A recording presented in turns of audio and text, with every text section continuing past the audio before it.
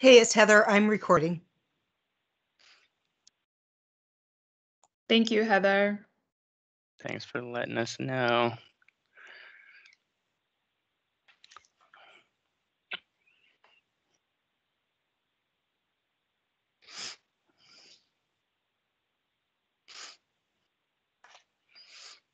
Hey Nate, glad you can make it. Yeah, thank you. I just landed. Are you at the airport right now? No, Okay. I was say you better put your mask on. on at the airport.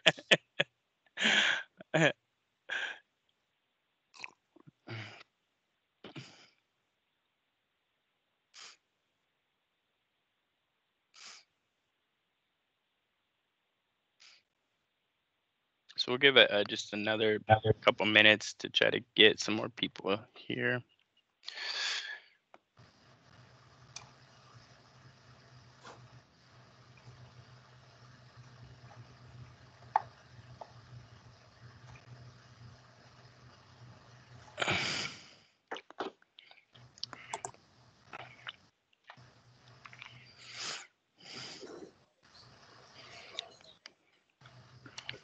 Laura, good to see you. Morgan.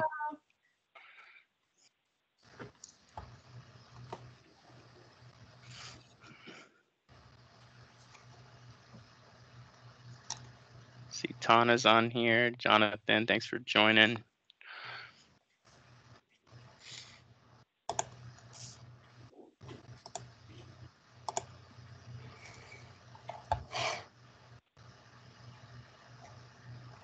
Tori, did you get my slide that I sent via email? No, I didn't. I can check my email again. I checked it up five minutes ago. Did you just send it? Okay, yeah, I just sent it, so I don't know how you want me to do that with, would, do you want me to take over the um, presentation piece with share screen, or would you do it? Let me answer your question real quick. She's got to do that. I can do it. I just have to download it now. Okay, So The CCO funding that the governor signed, there's multiple funding. Caroline. Okay, well, maybe we'll give it one more minute and then start to do kind of the roll call.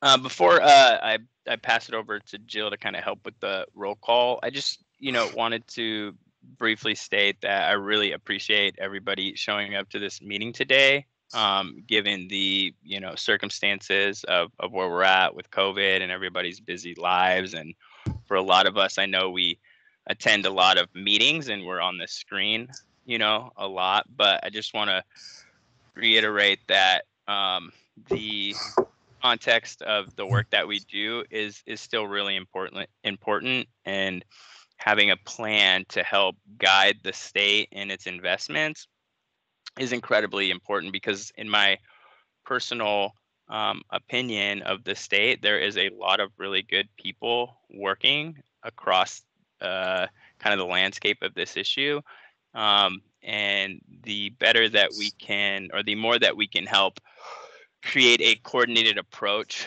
uh, with targeted investments and, and outcomes is really going to help on the ground level to get resources to the people who need them.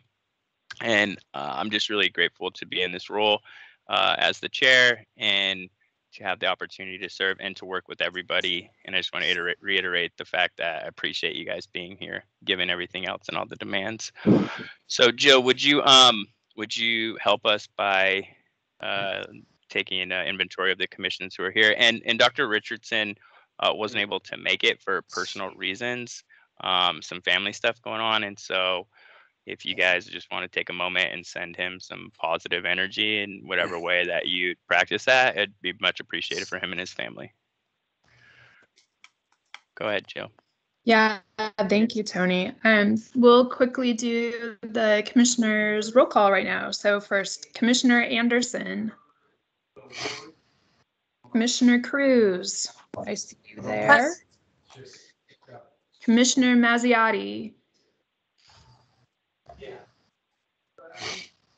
Commissioner Hilton. Judge Block, I think I saw you there. Present. Commissioner Archer. I see. Hello.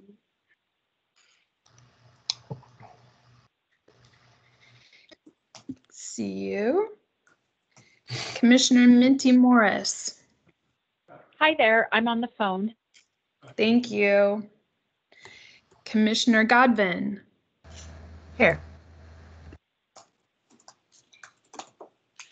Commissioner Nissen. Present. Vice Chair Gowrie. Present. Commissioner Clarkson. I'm here. You're nodding. You can see me. Hi. I I see. Commissioner Garrett.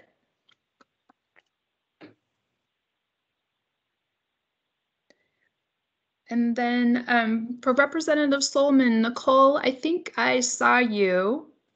Yes, I'm here, Jill. Thank you.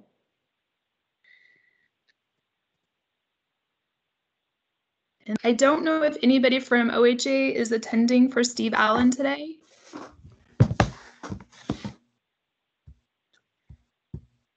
And Chair Vezina. Uh, present. We have quorum. Jill, did you Okay. see me? Because I didn't hear my name. Okay. Yeah, I got you, Kat. You you were listed as Griffin, but I know that that is not you.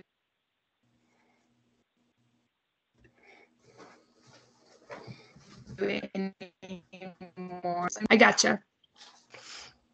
Yeah, and I don't know if it's just me, but um, Jill, you're breaking up a little bit.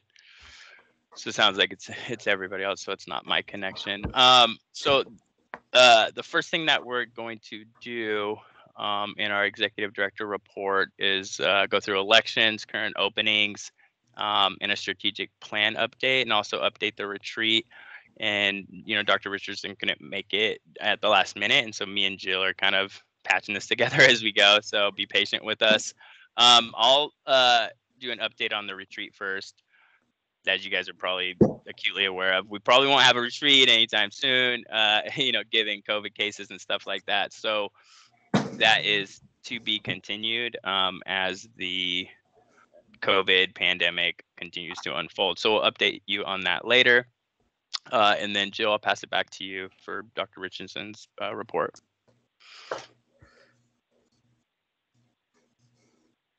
Sure. I, I changed my internet connection, so hopefully it's better and everybody can see and hear me better now. Um, the there I have two items from Dr. Richardson's report. The first one is um, one item on your agenda you'll see is the strategic plan update. Dr. Richardson sent out a document as an attachment to the email to everybody for this meeting, and there is a document that is the strategic plan update. It is about three pages long.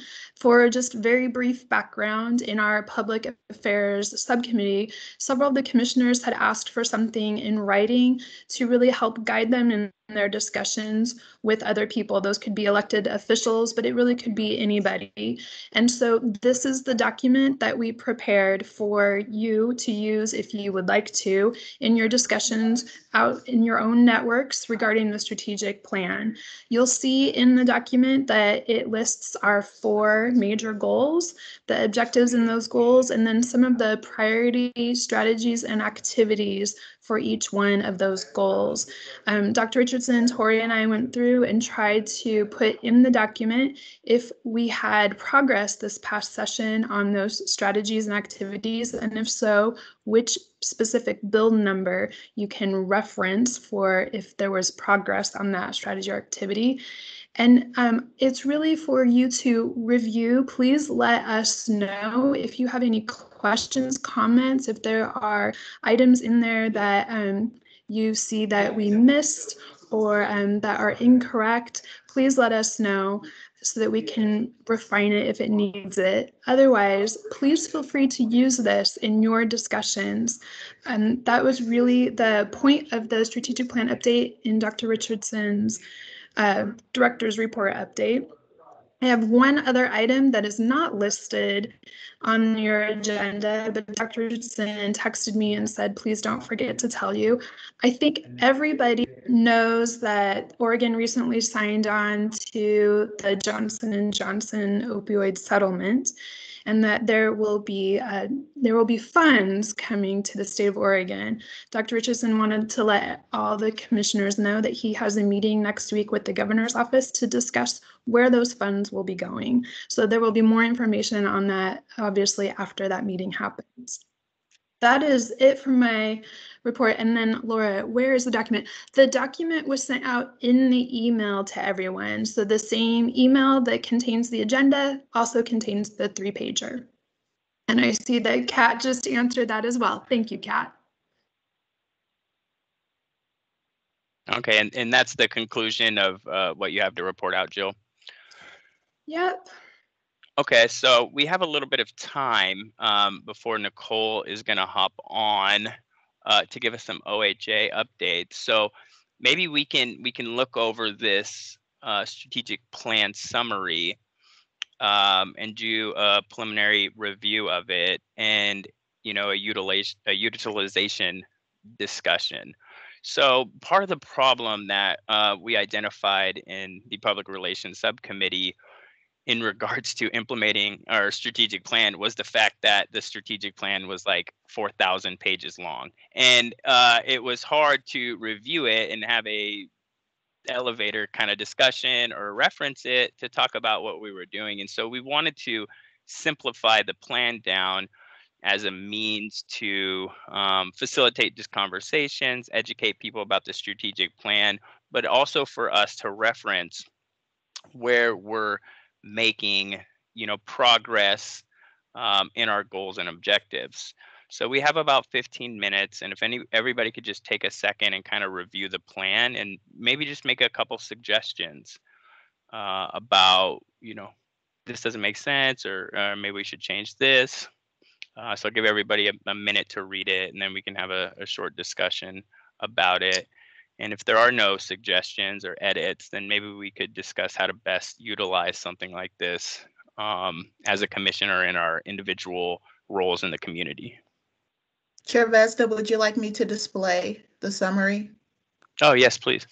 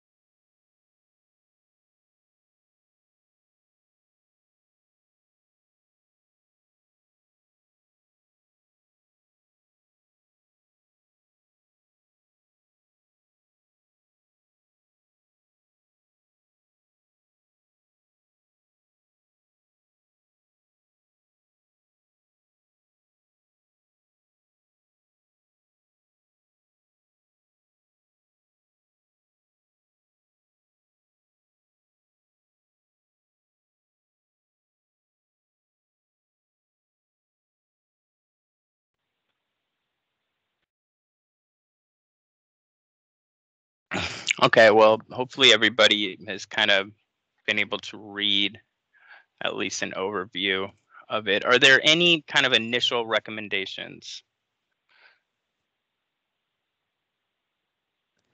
So I Yeah. was, oh, sorry. Chair, can I uh, make a comment? Uh, sure, go ahead. So, you know, I did see on there something about family norms. And there was something that was brought to my attention years ago. I kind of looked like a fool, but I was in a, I was running a family group. And we talked about, a parent said, well, I can give my kid alcohol in my own home. I said, no, if they're under 21, they can't drink. And so apparently that is the law that's been on the books and for like 100 years.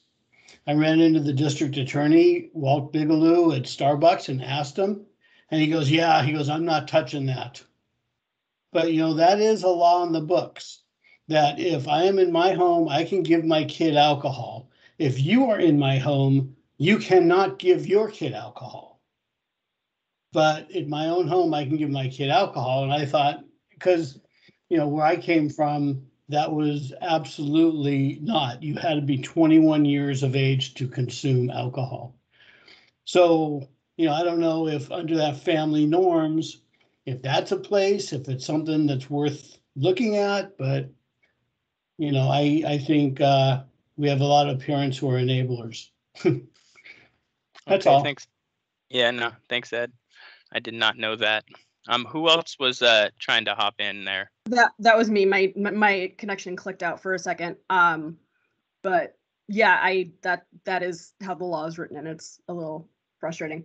Um, on that prevention section, I, I I get that the the training for um, servers and and retail clerks is deferred because it's hard to train people in a pandemic. Um, but I mean, so that kind of just brings me back to the argument that we had with OLCC about the DoorDash alcohol. Um, where are we with that? Because I know that that has been increasing alcohol use during the pandemic.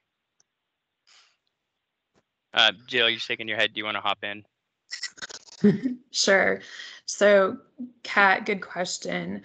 I think um, you and others may remember that this past session there was a bill that OLCC and others, including the commission we were working on, to try and update OLCC's statutes to incorporate e-commerce business since a lot of people are receiving are purchasing and receiving their alcohol through online means and less and less through in-person contact.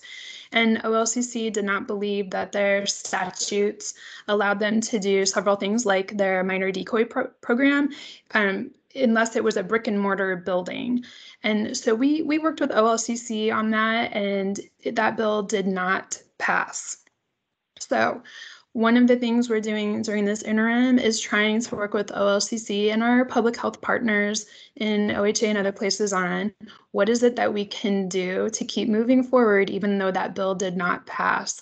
Um, I think that this is probably a premature announcement here, but there is something that OLCC, Public Health Division, and the Commission is working on to try and get more data regarding um, at home delivery, cocktails to go, and curbside pickup. It definitely would not be something that was as as good as the bill because there wouldn't be that um, enforcement mechanism. It is purely a data collection item that we're working on. But as we've all agreed, we we need to keep moving forward, and there is very little data about what's happening when somebody is having at home curbside or cocktails to go with, with what's what's happening? Are they doing age verification? Are they delivering something to a lobby area and not to an actual person? Like what's going on? So that we need data. That's where we are right now. Cat is trying to this this next interim is trying to collect more data. I know that that's not a full answer to your question but i wanted to let you know yes this is something we're working on and we're trying to find ways we can keep moving forward even though that bill did not pass. Did that help It, it does. Um, just another thought to add on to that is, um, like I've seen Dashers check ID, um, but these are just like this is gig economy stuff. Like these are I don't know what kind of training these people go through to know whether or not an idea is real, stuff like that. So yeah. th- Yes. Uh, and and thanks for that, you know, Kat. And that sounds like you know this is more of a kind of richer conversation about this specific policy and strategy. Does does anybody have any other recommendations as far as the, um, you know, uh, increasing the the usability um, and effectiveness of this this concept, this overview of the plan?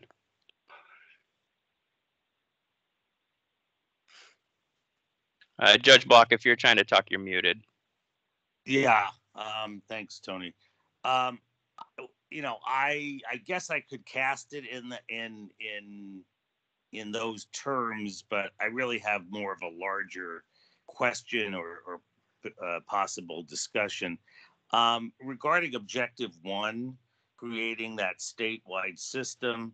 I remember when you know when this was uh, included as goal one, there was a lot of consternation that wow, we're just kind of you know, this is all we can do? Just like get get meetings going between state agencies. And I always believed that it was really an important element of the plan, um, and, and and you know, and and didn't didn't at all represent low hanging fruit or something that was un, unimportant. Um, I think, you know, there's been a, I think uh, where you know where we are after the the legislative session is actually not only is this like been recognized as an important policy there's actually been a statute passed that basically you know tells OHA to kind of reinvent the system. And i guess my question is we say in this plan or in this document that that several of these strategies are in progress well, if we're really going to be able to use this, we probably need a little bit more detail about that. Like, what what is that progress? Um, and and I and I guess the the question I have, you know, I, is I know this has been an incredibly difficult time to get work done, but but you know, it, it, what have we made progress, and why is why is simply getting um, getting a process going where ADPC is the convening authority and getting these agencies together to try and and you know organize, avoid redundancy, get strategic, uh, coordinate efforts. What you know, all these things. You know what? Where are we on that? And and and can we make some additional progress? Jill? I mean, is is what is what is the progress that's that's that we're talking about when we when we say in progress in the document? Thank, thanks for putting me on the spot. Um, Thanks for that, Judge Block. Sorry. Well, it, it, Jill, can I hop in before I, before I wrap this up? Um, just kind of clarify some stuff, Judge Block. This this is really supposed to be used as a tool for conversation and discussion by Yeah. by the members, right? There's there's a larger Right. effort, you know, going on to track the strategic plan progress through like an inventory or a framework, right? With like you know model where we really are drilling down into where have we made progress, where have we regressed on the individual uh, components of the plan. This is just supposed to be used to help us discuss the plan, yeah, go out, talk I to people, and stuff like that. Yeah, you I know. understand that. And if, but if I say, if I'm having a discussion and we talk about expanding financial recess, res- resources and non-monetary forms of incentive, and I say, oh, well, we have HB 2949, that's an example of how, but, but uh, all I'm saying, Tony, is if it says in progress, if someone says, really, what progress has been made there? I don't know as a, as a, as a member of the commission, what that progress is. So I guess I'm just asking for more detail to be included in the document. That, that's really what I was going to say, Judge Black, is that I think both Tori and I have captured your comment about a little additional information when it says in progress. What does that mean? Yes, And exactly. So we'll, we'll take that back, yes, we'll take that back to Dr. Richardson and see what we can do about refining that. Okay, thank you. Also, also, we neglected, we talked about it uh, in the creation of this document, but somehow it didn't get incorporated. Um, We, they are priority um, activities and strategies and not all encompassing. So um, we neglected to put that on the form. Uh, It just says strategies and activities, but really those that have been identified are ones we judge as priority.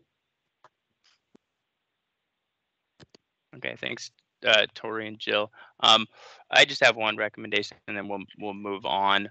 Um, if, uh, the, the document could just kind of contextualize a little bit more the importance of, of each, uh, impact, you know, like, um, like in the beginning, like the problem Oregon has some of the highest rates of substance use, uh, and substance use disorders in the nation. What does that mean? You know, like how many people die? you know how many kids are put into foster care just like to have a conversation it's like oh well here's what the problem is here's what it really means you know why is it important um, to have these four ultimate impacts? What is currently happening you know and why are we moving that direction? That would be my only recommendation just to help me make an argument of why what we're doing is is important you know in a tangible way. Um, and so uh, any other recommendations can be sent to myself or the team, Dr. Richardson. Um, please let us know. Once we get a finalized version of this, we'll send it out to you guys. And now we have uh, Nicole here to tell us about uh, everything the state's doing. No, I'm just kidding, Nicole. Um, to, to, to give us a little bit of an update. And thanks for coming, Nicole. I know that OHA is on fire right now with all the different things and all the money and reorganization and trying to find staff. So we really appreciate you showing up and giving us updates periodically. Well, thank you. Um, first, can you hear me? I'm having weird tech issues today. Yes. Perfect. Um, hello, everyone. Uh, Tony is right that we are hopping uh, over at uh, at the Health Systems Division and really all the other parts of OHA. Um, and um, Dr. Richardson and uh, asked me to join today to give a little bit of an update on the behavioral health investments that I talked about a bit at uh, our last meeting. But also, um, I chatted with Tony a little this morning, and he suggested that it would also be really helpful to focus on where those investments really touch on the ADPC slash Oregon strategic plan and, and where those things overlap. So uh, let me see if I can't do that today. I cannot share a screen, but I did send a summary document of the investments to Heather. So I don't know if she can put that up on the, the screen so that you can take a look at it. Hi, Nicole. I'm here and I'm doing that right now. Perfect. yeah, again, sorry. I, Something. I will talk slowly. Okay. Um, so I think, which is not, as you all know, my natural state. So I think that everyone um, remembers that we have a a historic moment for um, investment in behavioral health. I think we would call it a, a historic and uh, and a budget that we hope to be transformative of behavioral health. We got a significant investment in funds, um, general funds, and some one-time funds from the federal government to really beef up behavioral health and to and that includes co-occurring disorders and that includes substance use disorders. So we've got uh, investments to increase residential treatment services and housing for people with behavioral health needs um, and that includes substance use disorders we've got investments in um, certified community behavioral health clinics which again is an excellent place for co-occurring disorders or people to have access to their substance use disorder treatment along with their primary care, you know, not to have to go to a specialized provider because some people are in a place where that's not going to work for them. Um, we've got some money for um, for for accountability and uh, reporting out to be clear that the investments that we are doing actually result in people getting better, people getting into recovery.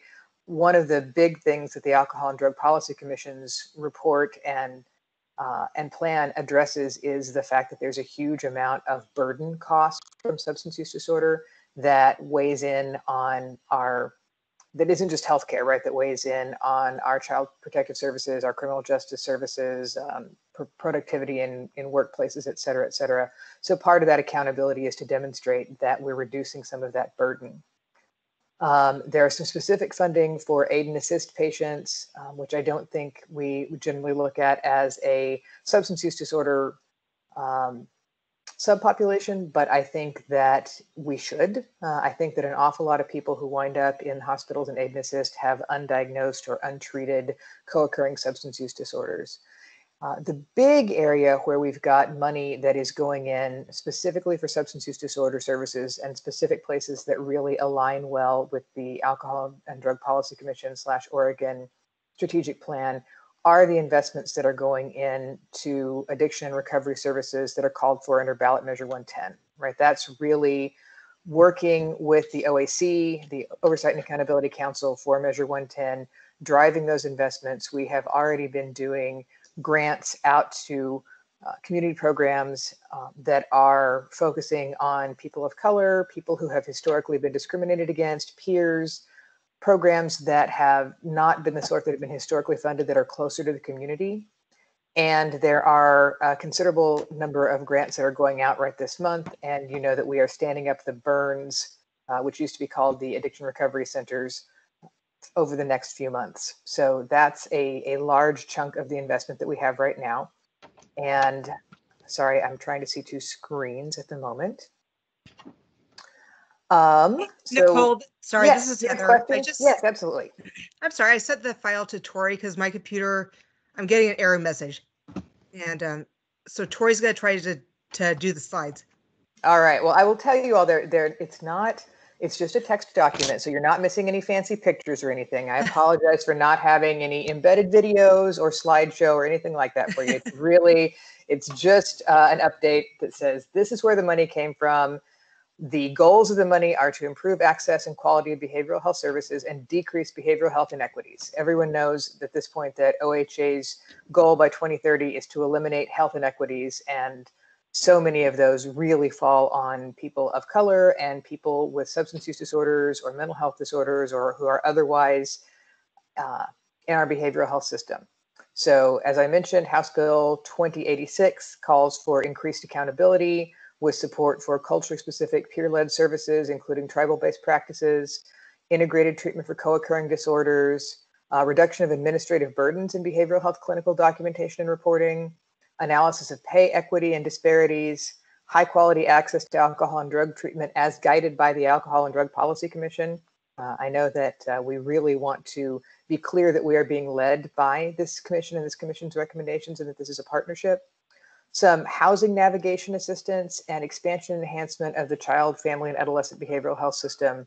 Um, and that includes SUD treatment for youth and kids. Uh, I think that everyone here is probably aware that there is a real, real lack of treatment access, especially for people who are 18 years and under. Um, so that is sort of the overall umbrella of that uh, of that work. And I wanted to highlight a little bit of the way that that touches the strategic plan, the key elements of the Alcohol and Drug Policy Commission Oregon strategic plan. Right. So key elements that are, are to include increasing, reducing substance use disorders and increasing recovery. And with our block grant and our new investments, we are doing more investments in recovery services and recovery supports than we have been able to do previously. Also, there's increased resources going to housing I will say that, uh, and workforce, and I will say that one of the things that I suspect you are all hearing, that we are hearing as well, is that workforce is at crisis level right now due to COVID uh, and due to the fact that numerous residential treatment facilities in particular have had to reduce their capacity in order to keep people spaced and safe and treat them for COVID.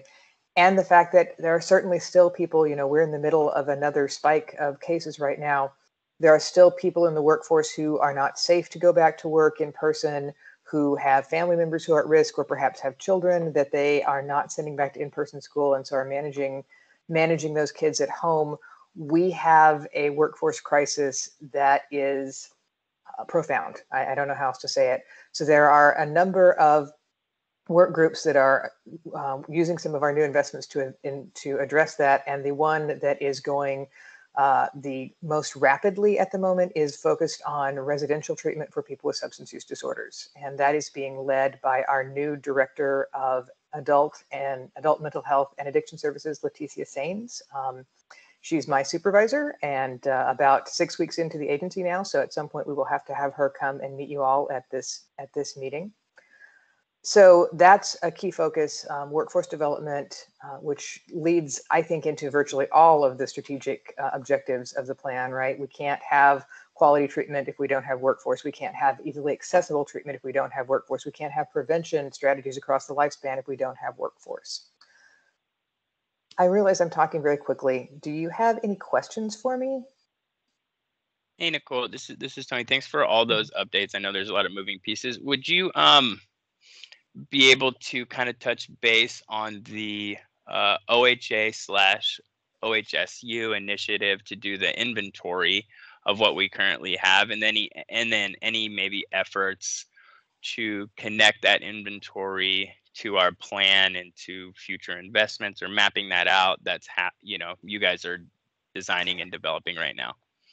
I would really love to be able to give you an, an update that says that is work moving along very quickly and it's happening. Uh, and I can't, uh, but I will tell you, uh, Dr. Richardson knows this. We have had a number of snafus and snags and slowdowns with the contract, and some of it was due to some different uh, legislative redirections and directions of the funding that that contract is intended for. What I can tell you is that the contract is in the hands of OHSU right now. And so the work should be starting very quickly. It's intended to be linked to the plan. It's intended to be uh, a, a cornerstone for this work. And it has taken considerably longer to get rolling than any of us ever believed it would, which is tremendously frustrating. And I, on behalf of OHA, apologize for that because it's not what we wanted, but it is moving now. Okay, th- thanks for that update. And then, um, is there uh, a strategy in your guys' office to help connect all these investments um, and the inventory to the work that we're doing here at the commission? Is there a way to link all those together that you guys are working on? Yes, um, it's it's so critical that the work be linked together. I think you know that we are in the process of hiring what feels like a hundred thousand new employees. It's not a hundred thousand, but it is 85 that are going to touch um, behavioral health in different ways through Measure 110 or through the health policy and analytics division or through aid and assists. And so some of those staff are going to be uh, in, in my unit who will be working directly on coordinating with the strategic plan, as well as uh, we're, we're doubtlessly with all these new staff going to be doing some rearranging of our Office of Behavioral Health in order to really maximize the new people that we're getting and to make sure that we're all connecting together because I think everyone has identified siloing as part of the issue that causes challenges for really uh, moving forward strategically. So the answer is yes, and I also uh, invite the commission to to hold us accountable to that um, because there are so many moving parts that I, you know, there's always the, the squeaky wheel will get the grease, and uh, and so please keep squeaking but yeah, I should be getting some new staff, and the rest of my unit is getting staff that are focused on this as well. Okay, thank you so much for that update. Do any of the other commissioners have any questions for Nicole?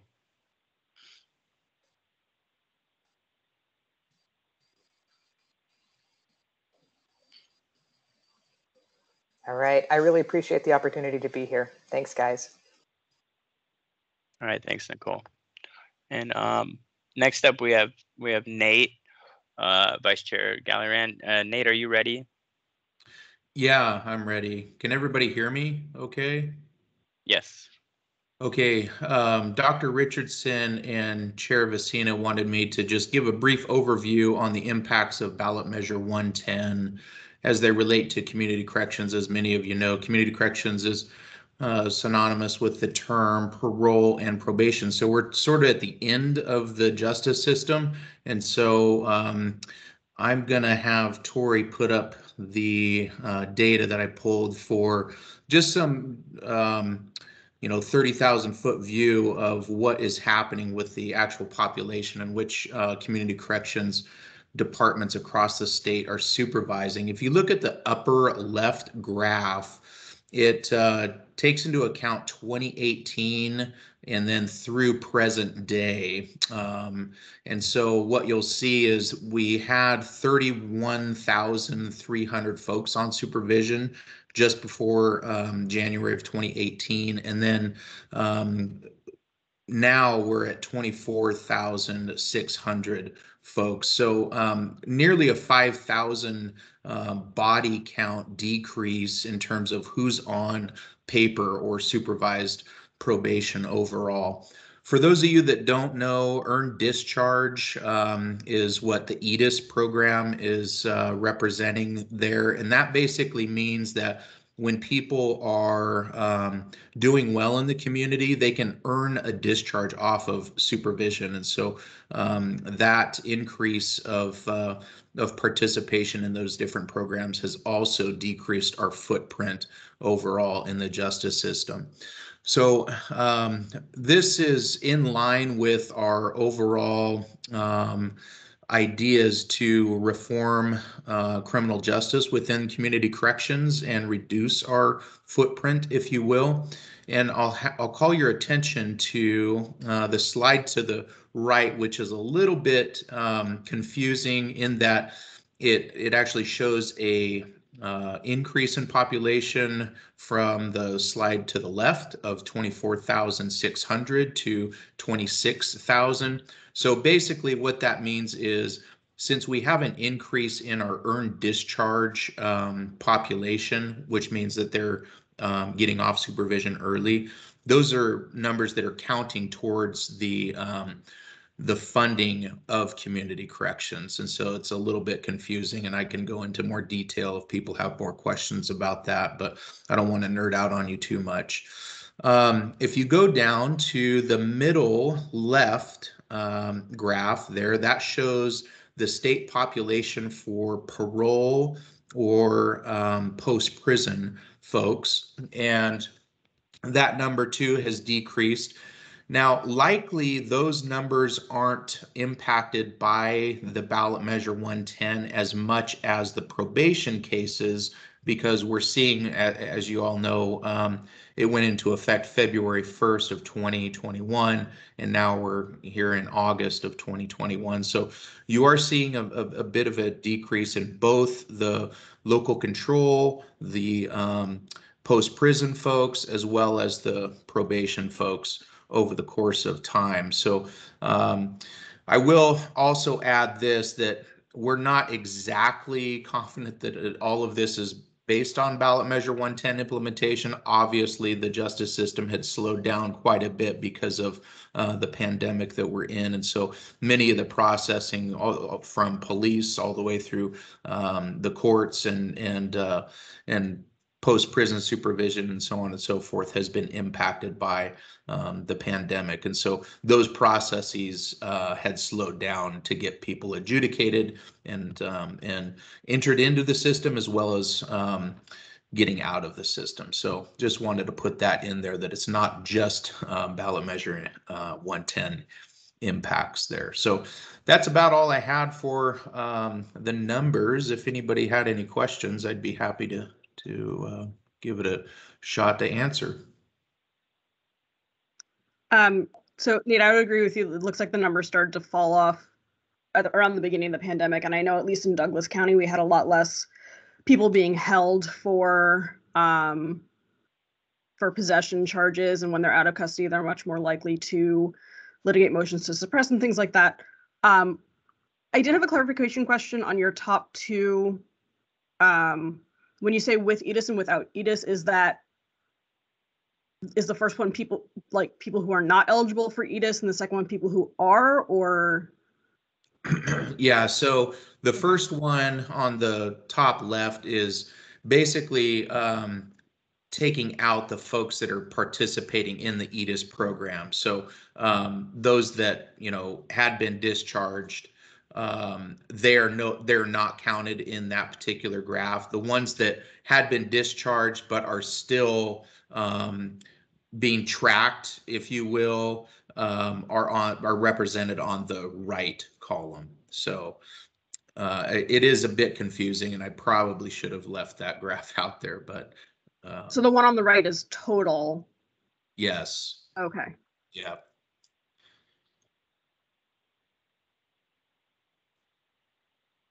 Thanks. Um, does anybody else have any have any questions or want to give any feedback, things they're seeing in their own counties, specific areas, anything like that? Um, we're certainly seeing, yeah, we're Go certainly ahead. seeing fewer, um, obviously possession cases.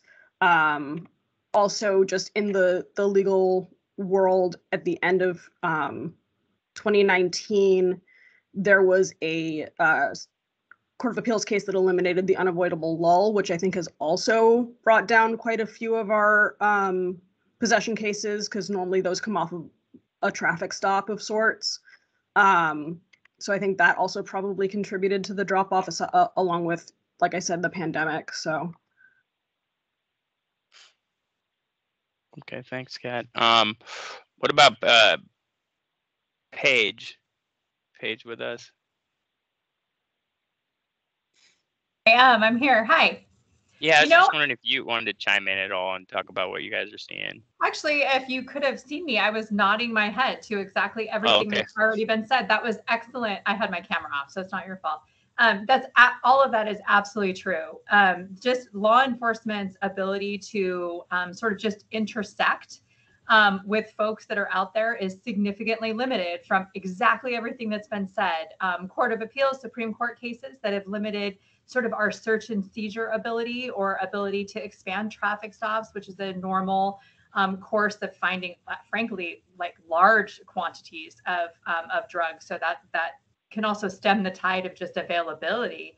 Um, but also the pandemic and Measure 110. So all of those things have um, significantly impacted the way uh, the criminal justice system intersects with um, drug uh, and addiction issues. And so uh, many of us throughout the state have programs that were specifically set up to use the criminal justice system as a bridge to recovery. And um, and that has and when you stem the ability for law enforcement to intersect, you stem the ability of the criminal justice system to actually get folks where they need to be um, and address the underlying issues. So we're all kind of struggling um, with how to to manage that and I know it goes without saying, I can tell you, in fact, I had this number right on the tip of my tongue a second ago, but our um, our local in my office, I also supervise our um, our local medical examiner's office, and our OD numbers are through the roof. We are um, we are on par to potentially triple or quadruple what we did last year. We're at over double this time this year than we were this time last year. So, um, you know, it isn't obviously we're talking about all of these issues, but um, you know, it's not just getting uh, getting people into recovery. It is really a public health um, crisis of uh, life and death, frankly. And and my medical examiner, I just met with him yesterday. He would tell you it it really runs the gamut. Fentanyl is certainly on the rise. Um, I just met with our state medical examiner last week at a conference. There's no question that across the state, fentanyl is a significant concern. But locally, for me, we're seeing um, significant increase really across the board, even in methamphetamine and other opiates. So it's everywhere. Yeah, thank, thanks for the update. And uh, uh, Judge Block, before I get to you, I just wanted to um, ask uh, Morgan a quick question about harm reduction efforts and the availability of uh, overdose reversal drugs. I believe last time you kind of gave us a update or information that there was, you know, less overdose reversal drugs available. Do you know if that's currently still the case and any other harm reduction efforts that might be going on so we could help reduce the amount of overdoses? Yeah, so that is still very much the case um, because Pfizer is still unable to fill orders uh, for the OSNN Buyers Club of naloxone. I see that the state, so I'm not super involved on the ground in Oregon. I'm doing a national program, which is especially difficult. Um, but I see that the state of Oregon is trying to supplement and has been sending out supplies because OHA is very well funded. Organizations, only about half of harm reduction organizations nationally receive um, funding like that though. And so the, the smaller, like mutual aid, scrappy organizations, they're having extreme naloxone shortages. So it's, somebody from OHA would have to say how, how this actual state is intervening in this because the feds are doing nothing.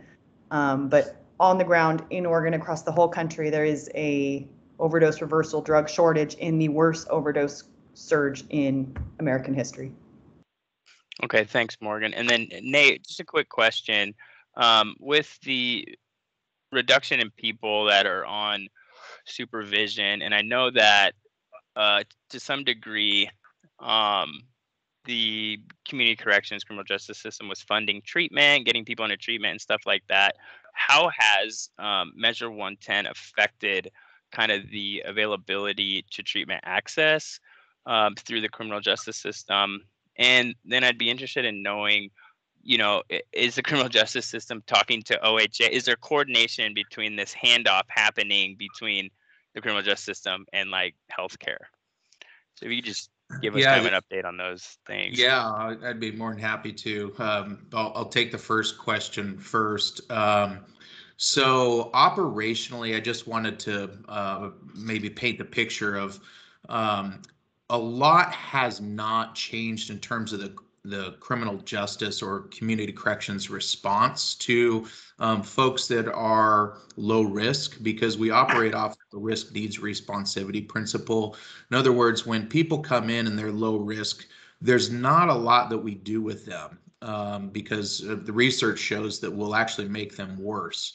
And so, as it relates to PCS cases, ballot measure 110 cases, when somebody just comes in on on a low level or user quantity, um, and they get processed or adjudicated, um, typically speaking, there's very little jail time there, and they're low risk. So uh, the criminal justice, or at least community corrections, parole and probation, doesn't have a lot of resources that they throw at those folks. So typically speaking, they don't do um, much with them anyway. Now, when you get to the multiple convictions and the folks that have, you know, significant um, amounts of drugs on them or plea it out to a PCS case, historically speaking, they get a little bit more attention uh, and support in the community through also accountability with uh, with jail time and sanctions and interventions and also rewards um, for positive behavior. So so there's that um, operational um, perspective that a lot has not changed with the bulk majority of those one-timer, you know, PCS cases that have that come into the criminal justice system um, and, and are were uh, supervised. Now, um, your second question, I'll try to take a stab at, in that we do still prioritize those high risk uh, folks that are on supervision that need additional support, specifically for substance use disorder.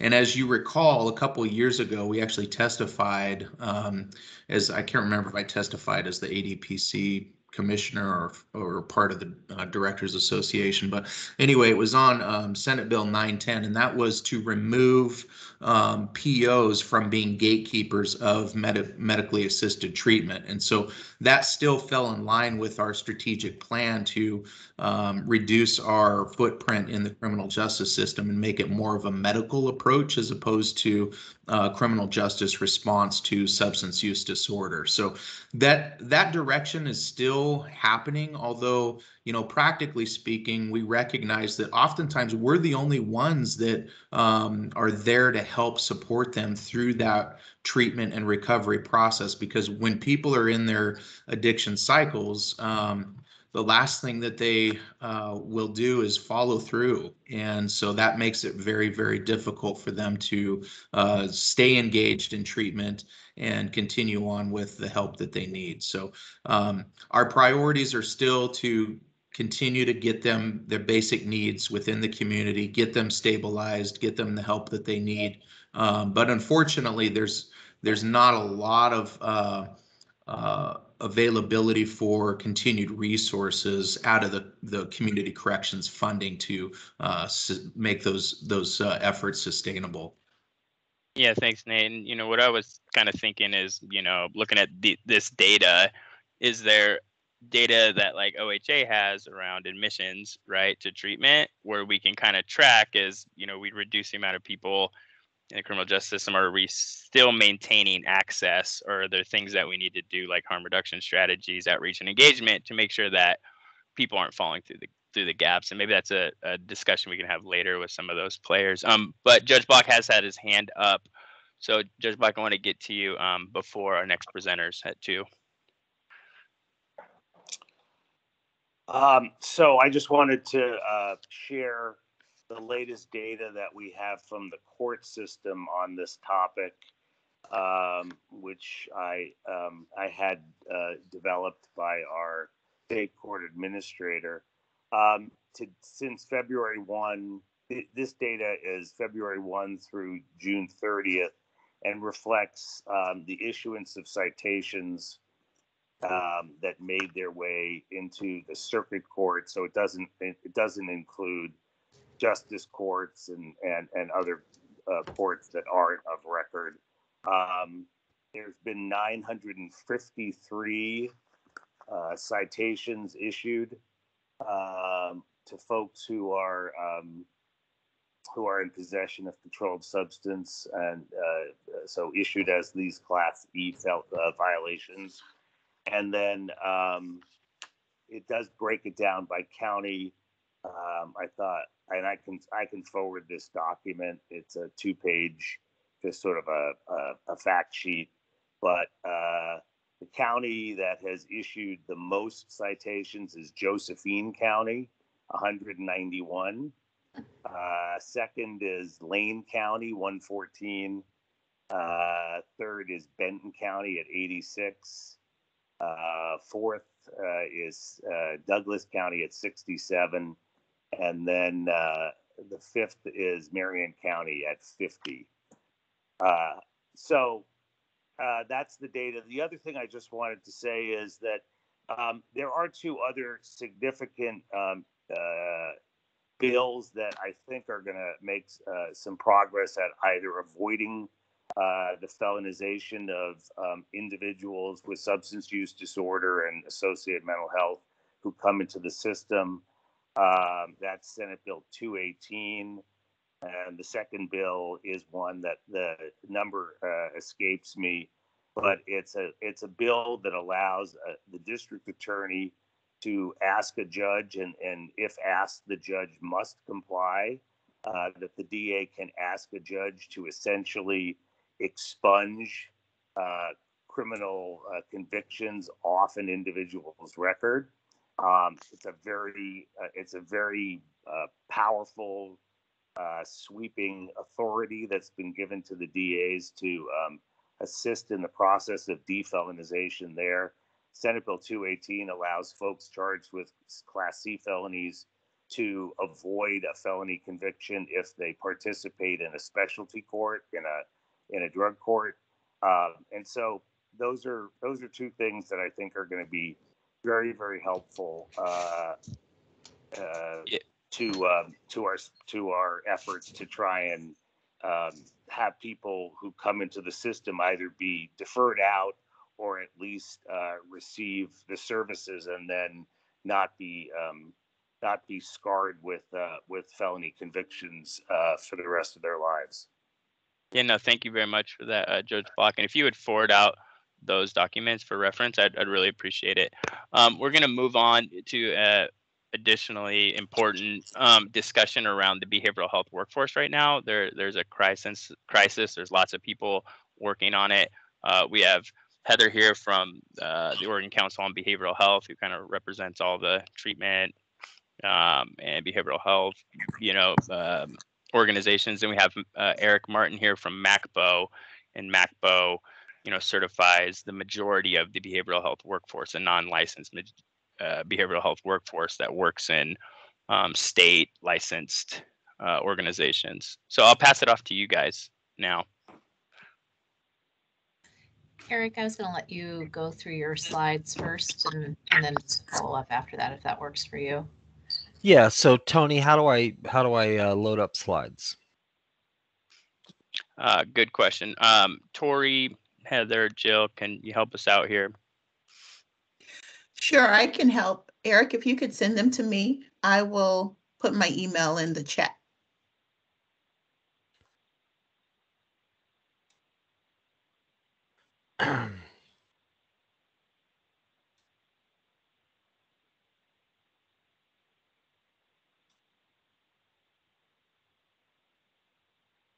And don't feel too bad about time crunch, you guys. Uh, we can go over the 30 minute time limit to have Thank you. this discussion. Thank you, thank you, Chair, because you are a time master. I am, yeah. Well, and you, you know, you look refreshed back from vacation. Good. Oh, oh, you mean I have a brain? Yeah, there's a brain in there now. It's, it's back. Intel has not been on vacation for a second. not saying anything out there to anybody. You know? okay, Eric, were you able to forward those over to us? Yep. Okay, thank you.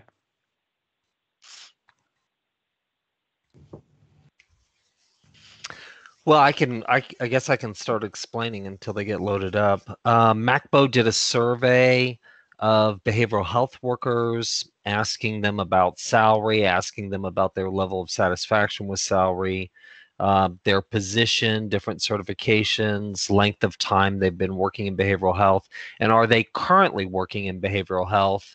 Are they working full time, part time on call, or not? Not currently working in behavioral health and uh, we had 3,007 respondents. So it was a very, very good response rate. And we shall go over that information pretty And Heather, Eric, soon do you here. have any- do you have any idea of how many people actually work in the field total? Just to kind of give us a scale of the respondents, right? Well, I would say that's a very robust uh, return because across our membership, and that includes all employees, um, you know, admin, licensed persons, doctors, uh, nurses, uh, see, you know, leadership.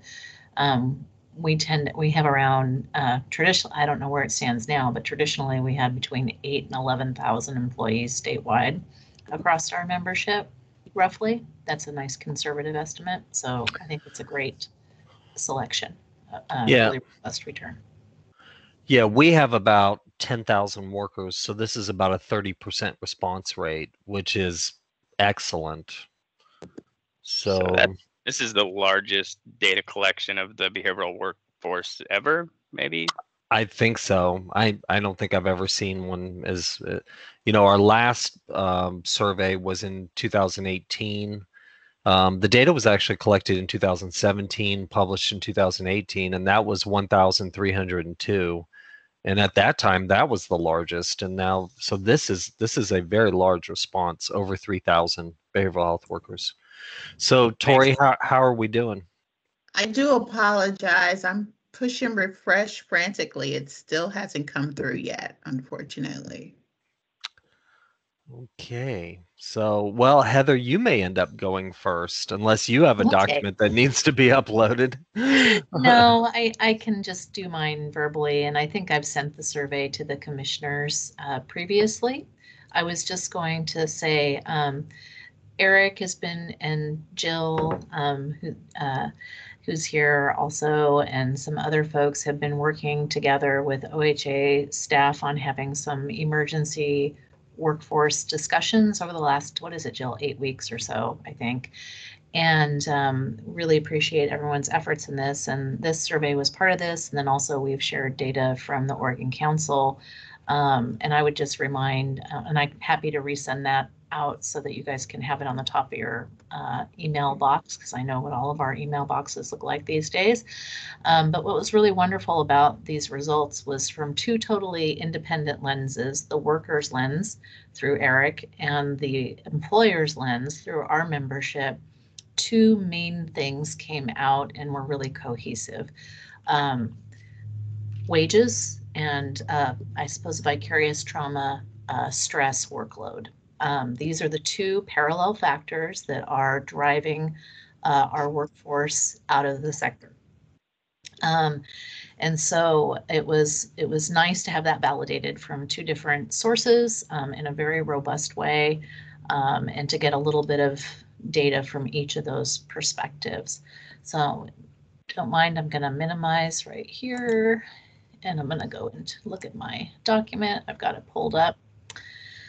And um, so just to let you know, like in our survey, which is a survey of our members, we have over 50% return rate. Um, we have about 55 members uh, in our organization who deliver services.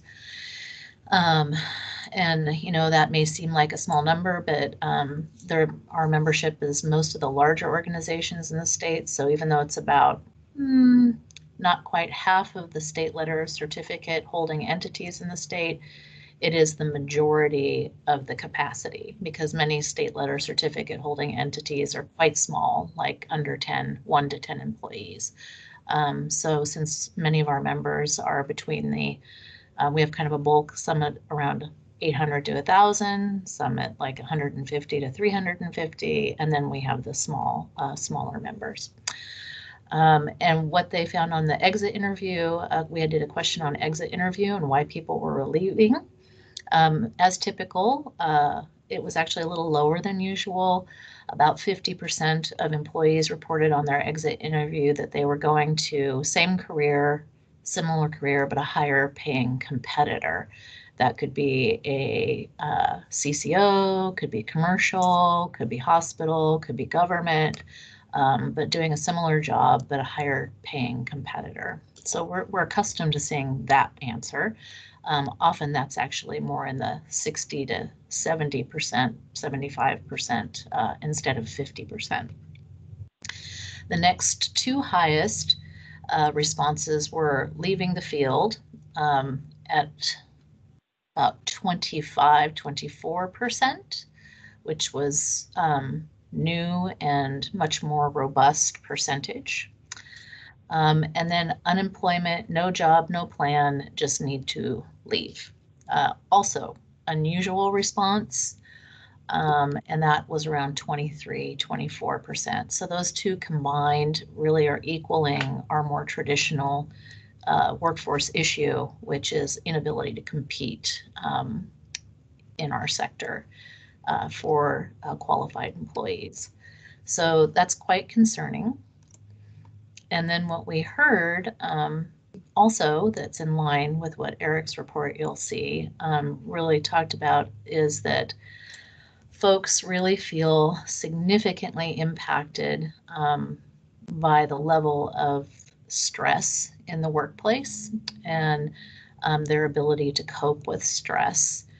Um, and that includes, um, you know, caseloads, acuity of consumers, uh, their ability to cope, um, feeling exhausted, all of these things that we really call perhaps um, in the bucket of morale and the ability for agencies to provide protective factors to their employees and protect them from the hazards of the job, which, and of course, we've talked about before. Um, you know, my husband um, is a chemical engineer, so they have to, you know, protect from chemicals. In our field, we're protecting our employees to the best of our ability and providing them the skills and resources they need to be protected from exposure to vicarious trauma. And right now, as we all know, we are all stressed and um, that is becoming more of a challenge for everyone. So um, that is really what we're seeing. Is it up yet or shall I just keep talking? Mm, We're ready to load it. Okay, Um, so I'm gonna let Eric do that because the next piece I have to talk about will be more about program closure um, and what we're seeing in the impacts to access. So I'll let Eric finish up on the workforce discussion and then I will wrap it up with uh, talking about closure and access after he's done, if that works for everyone. Okay, um, we are just with these untitled things, it's hard to know which one it is. Here we go.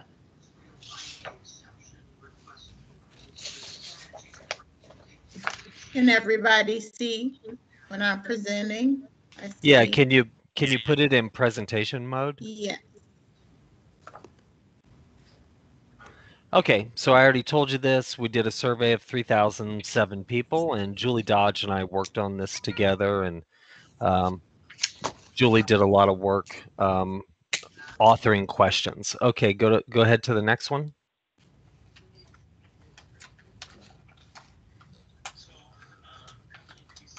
Okay, so these were the respondents. The median length of time working in social services for all 3,007 respondents was 8.4 years.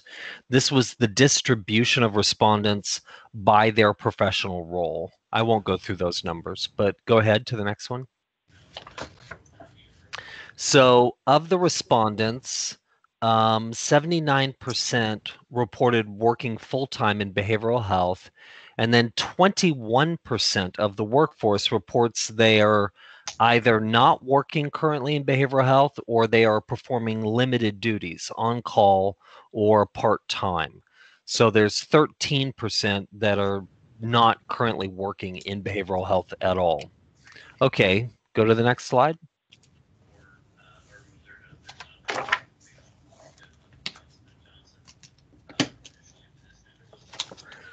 So this is the median years working in social services by occupational role. So for substance use disorder peers, it's 3.1 years. Mental health peers, 5.4 years. Mental health associates, 7.4. Um, SUD, substance use disorder counselors, 8. And then mental health professionals, 10. So you can see that that um, you know the peer field is has been growing you know dramatically over the last five or six years. So it's entirely possible that that the new workers that have been coming into the field just haven't had an opportunity to work for years like some of the older traditional occupational roles. But um, it's probably safe to say that there's higher turnover in among mental health associates, mental health peers, and, and SUD peers compared to um, substance use disorder counselors and mental health professionals. Okay, go ahead. Next.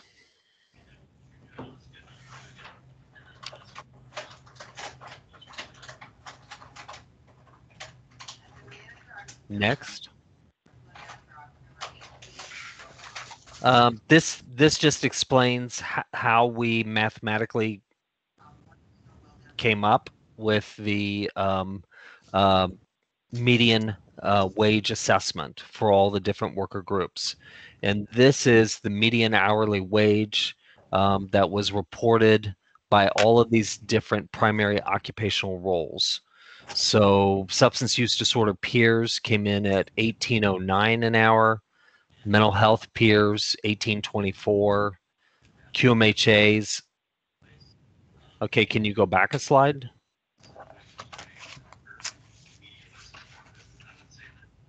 So Tori, is your microphone on?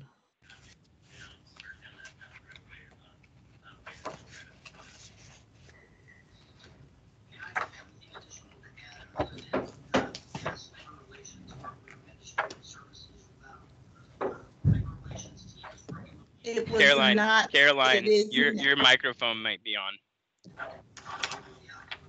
Can you hear me? Yeah, This now is we can. Tori. Okay, do you want me to go back to presenting? I don't know what happened. Yeah. I Yeah. had to minimize you guys so that you wouldn't show up on the screen. So I then don't have access to my mic and things of that nature. Okay, so we'll go back to the presenting. Yep.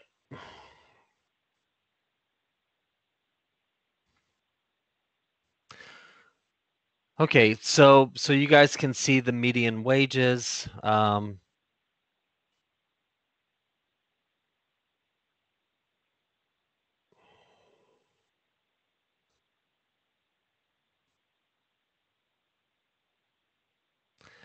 Okay, so you can see the median wages for the different workers, um, and obviously uh, mental health professionals and mental health supervisors came in at the the highest wage. Okay, go to the next slide.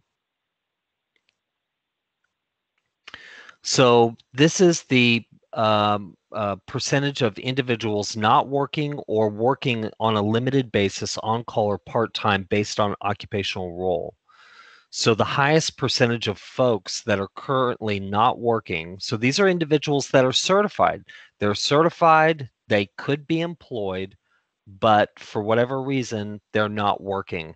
And that was 17.3% of CADCs and 14.8% of, of substance use disorder and mental health peers, 12% of QMHAs, and 7.7% of QMHPs. So um, that's that's quite a bit uh, for CADCs and peers for individuals that are that are not working. Okay, go ahead to the next slide. So 23.5% of CADCs are either not working or performing limited duties. So that's pretty substantial. I mean, that's that's almost one out of four. So, and these are some of the top reasons that they report: burnout, that they're going to retire, poor compensation, lack of organizational support. Go ahead to the next one. Similarly, with peers, 23% of peers are either not working or performing limited duties. Similar reasons. Um, 10% said they got laid off, 10% physical health problems, but similar reasons. Okay, go ahead to the next one. QMHAs, 20.1% of QMHAs are either not working or performing limited duties. Similar answers. Um, they included 11% included uh, mental health self care. Go to the next one. QMHPs, 19.2% of QMHPs are either not working or performing limited duties. And they, again, they reported some similar similar reasons. Go ahead to the next slide. So, the most frequently cited for not working in behavioral health poor compensation, lack of organizational support, burnout, uh, moving into retirement, and all of the above or most of the above. When cl- people click the other button, eh, they had the option of writing in what other was, and the majority of people just simply wrote all of the above or most of the above. Some people wrote COVID and childcare. Now it's interesting on the retirement piece. So we knew, um, as most industries in America have known, that there was going to be a mass exodus of professionals from the workforce in every every industry in America as a result of baby boomers retiring. So so everybody was pretty much aware that was going to happen. And it seems like maybe COVID has synergized uh, this retirement factor that was always looming in the background. Go ahead. Next slide. This is median wages by level of satisfaction with wages. So we we looked at how people reported their level of satisfaction with their wages and then we did a median on their wages. So, of the people that said they were very satisfied with their wages, we took all of those people and ran a median uh, salary, and they came up at 33.04. And you'll see that people basically below $23 an hour report dissatisfaction with their wages. And that neutral position of of you know barely satisfied or something along those lines, came in at 2309. So it, that appears to be like a breaking point, is this $23 an hour. Okay, next slide. Um, so this is staying, you know, versus leaving. And clearly, when we ask people, you know, what their future plans are, 76% clearly indicate that they're staying uh, for different reasons. 38% they're going to say they're going to stay in their current job. 27% say they want to advance. 3% say they want to return. And then 8% say they want to move into some different social service field. So they want to stay in social services, but they want to move into a different sector, a different field. And then 24% are reporting alternate plans. Um, 6% want to leave entirely and go into some other type of career. 5% want to retire. 9% report other plans. 4% go back to school. So, and that's pretty consistent with Heather's 24% that that she uh, described in their workforce assessment. Okay, next slide. Okay, and this is this is the last slide that I have to go over, and this is looking at our 2017 wage estimates. And then what we did is we applied uh, the uh, CPI inflation index to the 2017 dollars to see what it would be in 2021 and then compared it to our current 2021 wage estimates. So for example, in 2017, SUD counselors were making $18.94 an hour. That was their median wage. And in 2021 dollars, that would be 2109. But in the current wage estimates, they're actually making 2206. So they're making about a dollar more in an hour. And that's probably because of the increase in SUD reimbursement rates um, that were um, sort of pushed through and lobbied for by OCBH and, and Oregon Recovers. You can see SUD peers have have actually gone up substantially uh, in wages. Um, SUD supervisors have actually gone down in wages. So they were making $25 an hour back in 2017. Now they're making 27 um, 2711 but if we inflation adjusted the 25 back in 2017 to current 2021 dollars that would be 2784 so basically SUD supervisors have actually taken a loss in wages uh, same with QMHAs, and QMHAs have actually taken the biggest loss in wages. So in 2017, they were making 1979. In 2021 dollars, that would be equal to 2204, but they're actually just making 2110. So you can see with the green arrows and the red arrows, um, when we adjusted the 2017 wages for inflation, you can see compared to our wage estimates whether people have actually gone up or gone down based on the rate of inflation. So, and that concludes this presentation.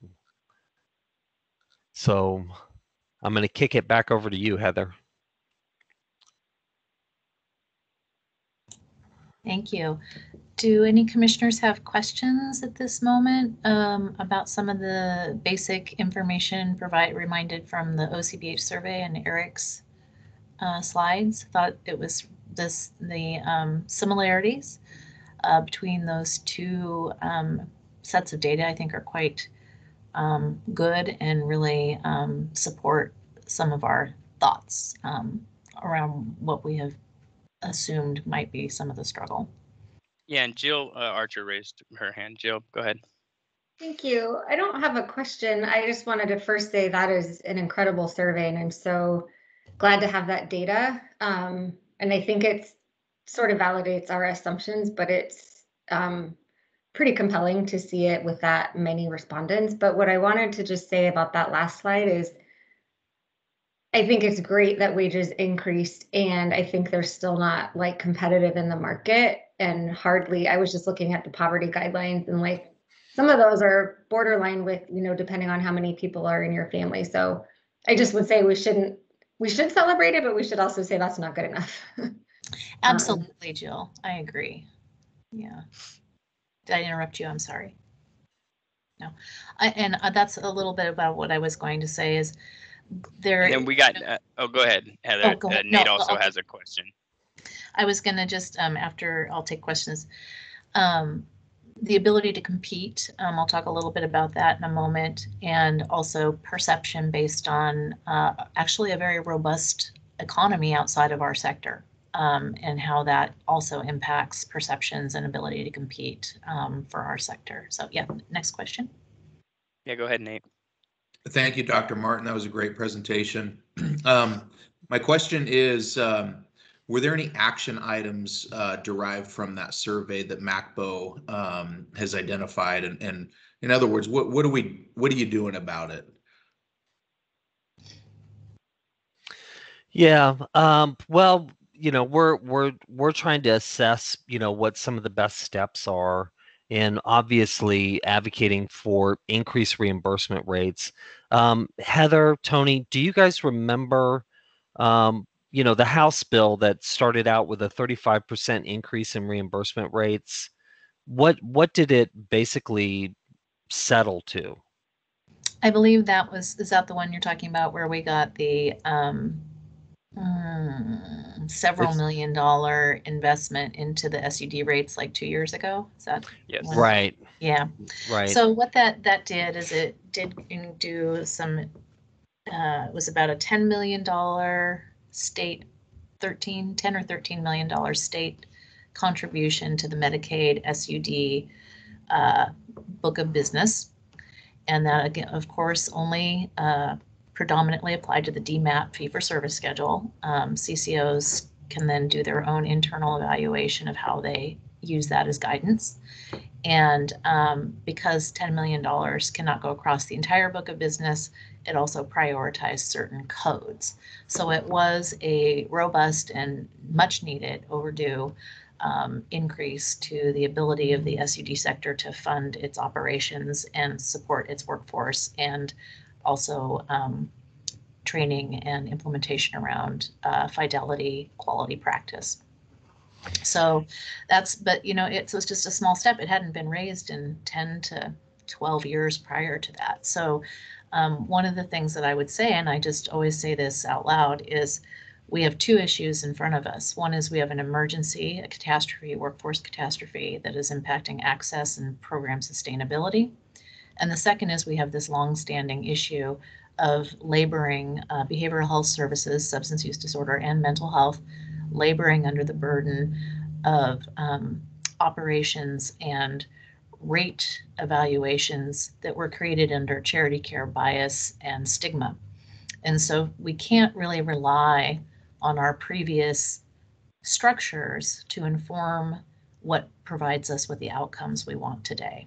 And I know that that's a big leap for all of us to think about. But if we really are going to call out the elephant in the room and move the system forward to an equitable, um, effective, modern, healthcare structured profession, um, and support the professionals and encourage professionals, and particularly, I think we have a burden to do that if we're recruiting uh, BIPOC communities um, to make this a, a, a well-respected and highly supported healthcare activity. So that that requires us to pause and really look at redesign. Um, so that's the long-term issue, but we do have this very pressing and urgent short-term issue, which is um, causing an access crisis um, across the state. And in the youth system, I would say we've already our system has already collapsed. Um, and we have some requests out to OHA and others. So I really appreciate Eric and Julie Dodge and Jill and, and some of us and some OHA team members coming together to start talking about these things, but it is quite pressing. So I guess the things that I would ask of the commission is what we're doing is we're all trying to figure out in the short term, how can we access those resources given to us in from the feds in the CARES Act and the ARPA funding and the increased block grant and the FMAP and all of these things to push money out yesterday to um, support workforce, recruit, retain them, um, and keep them supported in their work so we don't burn them out and lose more of them. And then the larger question is how do we redesign the operational and payment structures to focus on health equity, um, implementing researched fidelity practice that we have at hand that we currently have a lot of roadblocks to doing, and uh, really modernize the operational components of the system. You know, that I guess that silver lining is we do have a lot of good quality best practices out there and fidelity researched uh, models that do impact uh, people and help them get to recovery. But the ability to lift those um, research practices is is the um, the weaker side of the equation.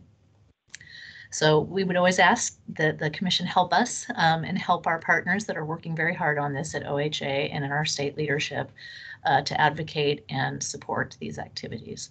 Um, so that's, yeah, so I see I have questions. There I'm off my spiel. Mr. Chair, if I may, just with one follow-up question. Sure, and then I'll get you, Kat. Yeah, go ahead. Um, i- Is there, um, w- would a letter from ADPC help or what kind of action items for us can we help, you know, support and, uh, and get those numbers up to something that's a little bit more, um, sustainable? I think advocating for immediate, urgent, flexible funding for to help sustain the workforce and retain the workforce we have um, would be very helpful. Um, and I think uh, the lo- the question around longer strategies is one that I would greatly appreciate your time and attention to. Thanks, Heather. Uh, go ahead, Kat. So when you were doing your survey, um, did you differentiate um, responses based on like urban and rural? Because I know just anecdotally from from being in the in the field working with treatment courts for the last um, five years that in Douglas County we have a really hard time holding on to people because they want to go up to Portland or Eugene or out to Bend or what have you. Um, and I don't know if I mean, I, I assume that that's an issue all over rural Oregon, and but I don't know if like the if there are different issues in different areas. I guess if that if that makes sense. Yeah, uh, we did not. So, so in our 2018 survey, we did ask that, and and um, you can look up our 2018 survey on the MHACBO website, and and we went through exhaustive variables um, regarding uh, wage analysis, and it's it's called the ANCOVA wage analysis. Um, on this one, we didn't because um, OHA and other stakeholders they wanted they wanted information fast, and so the way we sold this survey um, to the workforce was that it was only ten questions, and that's how we got three thousand people to fill it out. Is because we said, hey, it is only 10 questions. Please, please take this survey. Um, but uh, I agree, Kat. I mean, it would be great to ask, you know, a couple dozen other questions, but but unfortunately, uh, then that limits the number of people who will participate. Yeah, and what I can tell you from the OCBH survey is I didn't put those in the final results because they're more diverse answers. Um, but what I can tell you from the membership in our regular meetings, we have, you know, anywhere from four to eight regular meetings with uh, C-suite folks from across our membership weekly, is that the percentages of um, unfilled positions are pretty equivalent. They're not statistically different from uh, peers all the way through um, even psychiatric nurse practitioners. The positions remain unfilled for months, and that really the pressures are what are different in different communities. So in rural communities, what we're finding is even when people take a position in a rural community, they cannot find a place to live. Um, that's a, a, a huge hindrance. And also, Oregon, like many places across the nation, the cost of living in rural communities is no longer less expensive. Um, in fact, it's in some regards more expensive than living in a more urban area. And then the ma- primary factor that we're hearing from our members in more urban areas is wage, outside wage competition. So um, there's so much more robust wa- wage competition, uh, workforce competition in more urban areas. So um, those there's it seems like the numbers are kind of similar, but the pressures are slightly different, is what we're hearing from our membership. If that's helpful. And no, uh, thanks, um, Heather. So I want to call on Jill Archer. You want to kind of discuss some efforts that's been going on between some of us?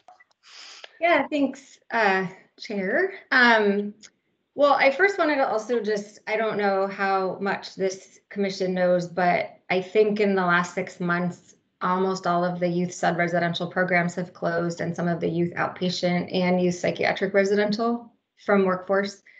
Um, and it's not just COVID related, it's all of these other issues. Um, so I wanted to put that out there. And then related to wages, just to say that, you know, we have a spending cap within CCOs that's part of our waiver with CMS and the global budgets are based on the history that Heather talked about, right? So they're based on old thinking about how you fund behavioral health. So there's that.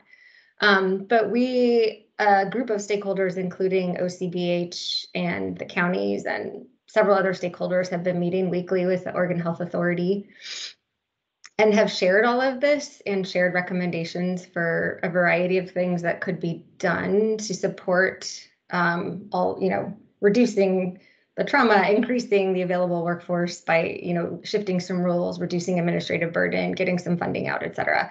We haven't seen really any movement. So I think there was a question about what can this commission do? And I think it's really targeting advocacy straight with the governor and not so much at the Oregon Health Authority because that's been going on for weeks. Um, we haven't seen a lot of shifting. So So I, I totally concur, Jill. So any support that we can get from the commission around this, just to get things moving more quickly. We know that there are financial resources in the block grant, ARPA monies, CARE monies, um, FMAP increases. There's there is money available. Um, we don't even have to wait for the legislative um, money that was that probably won't roll out till January. And as Jill mentioned, we have 33 functional beds for SUD residential treatment in the state of Oregon at this moment. We've lost a program that did uh, tribal curricula and had uh, Spanish bilingual active staff uh, for youth, which is a tragedy um, in this time, and other youth, two other youth programs, outpatient programs for youth. Basically, we have not really a functional youth SUD system at this point in the state of Oregon. Um, the other piece is that all of our members are now at the point where they have probably 50 to 100 openings they can't fill. And so this has caused what we're calling rolling closures. So when a program um, perhaps is down to two or three staff, and then the, the agency has to decide that staff maybe would be better used to support another program that also is understaffed. So then that program will go on hiatus until they can fill another program. So this is extremely impacting access, which was already uh, limited for what since March of the emergency. Um, based on social distancing. So it is a, um, and every week is is getting worse, to be frank. Um, it is not relieving, um, and hiring is becoming um, almost impossible. So uh, urgency is is is is much needed.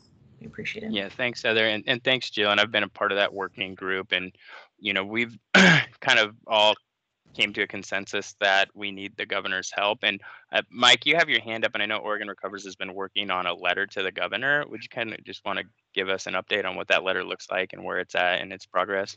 Yeah, thanks, Tony. Um, we're working with OCBH to draft a letter. Hopefully, we'll have it done by tomorrow that we can circulate to folks. Um, uh, that is to the governor and with very concrete steps that we want her to take that I think are very much aligned with the work that Jill has been leading, um, uh, recognizing to her point that um, we need the we need to empower the governor uh, by calling on her to use her stature and her ability to do this. And um, so I'll put in the chat. Uh, Jesse Cornett is coming on board to replace Andrew Swanson as our interim policy and advocacy director. And so I'll put his email in here. And as soon as we have a draft, um, hopefully tomorrow morning, um, if you're interested either individually as commissioners, but I would also urge that maybe the ADPC consider signing on to it or send your own letter. Obviously, you guys work at the discretion of the governor. So, um, uh, but hopefully we'll have something um, tomorrow to distribute.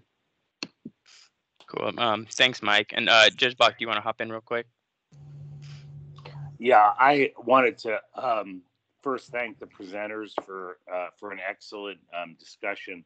Um, you know, this issue um, intersects with specialty courts um, in um, in the following way. It um, oftentimes there are things that that are that are drug courts um, and and our treatment programs uh, are required to do uh, consistent with best practices that aren't billable.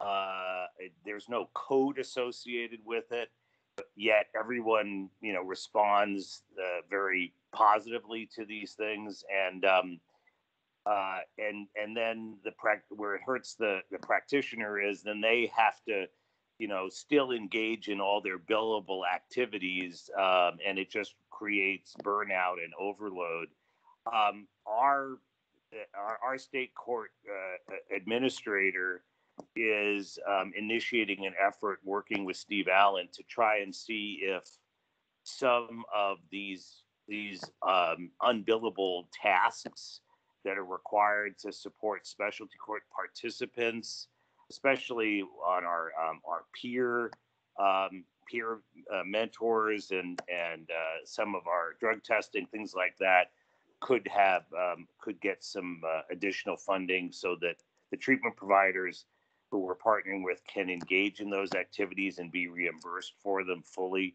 So I just wanted to let you, uh, Heather and, and, and Eric know about that. And to the extent you're supportive of it, that would be um, very helpful. Thanks. Thank you, Commissioner Block, Judge Block. Um, and le- please let me know, and I'm happy to to be supportive of that.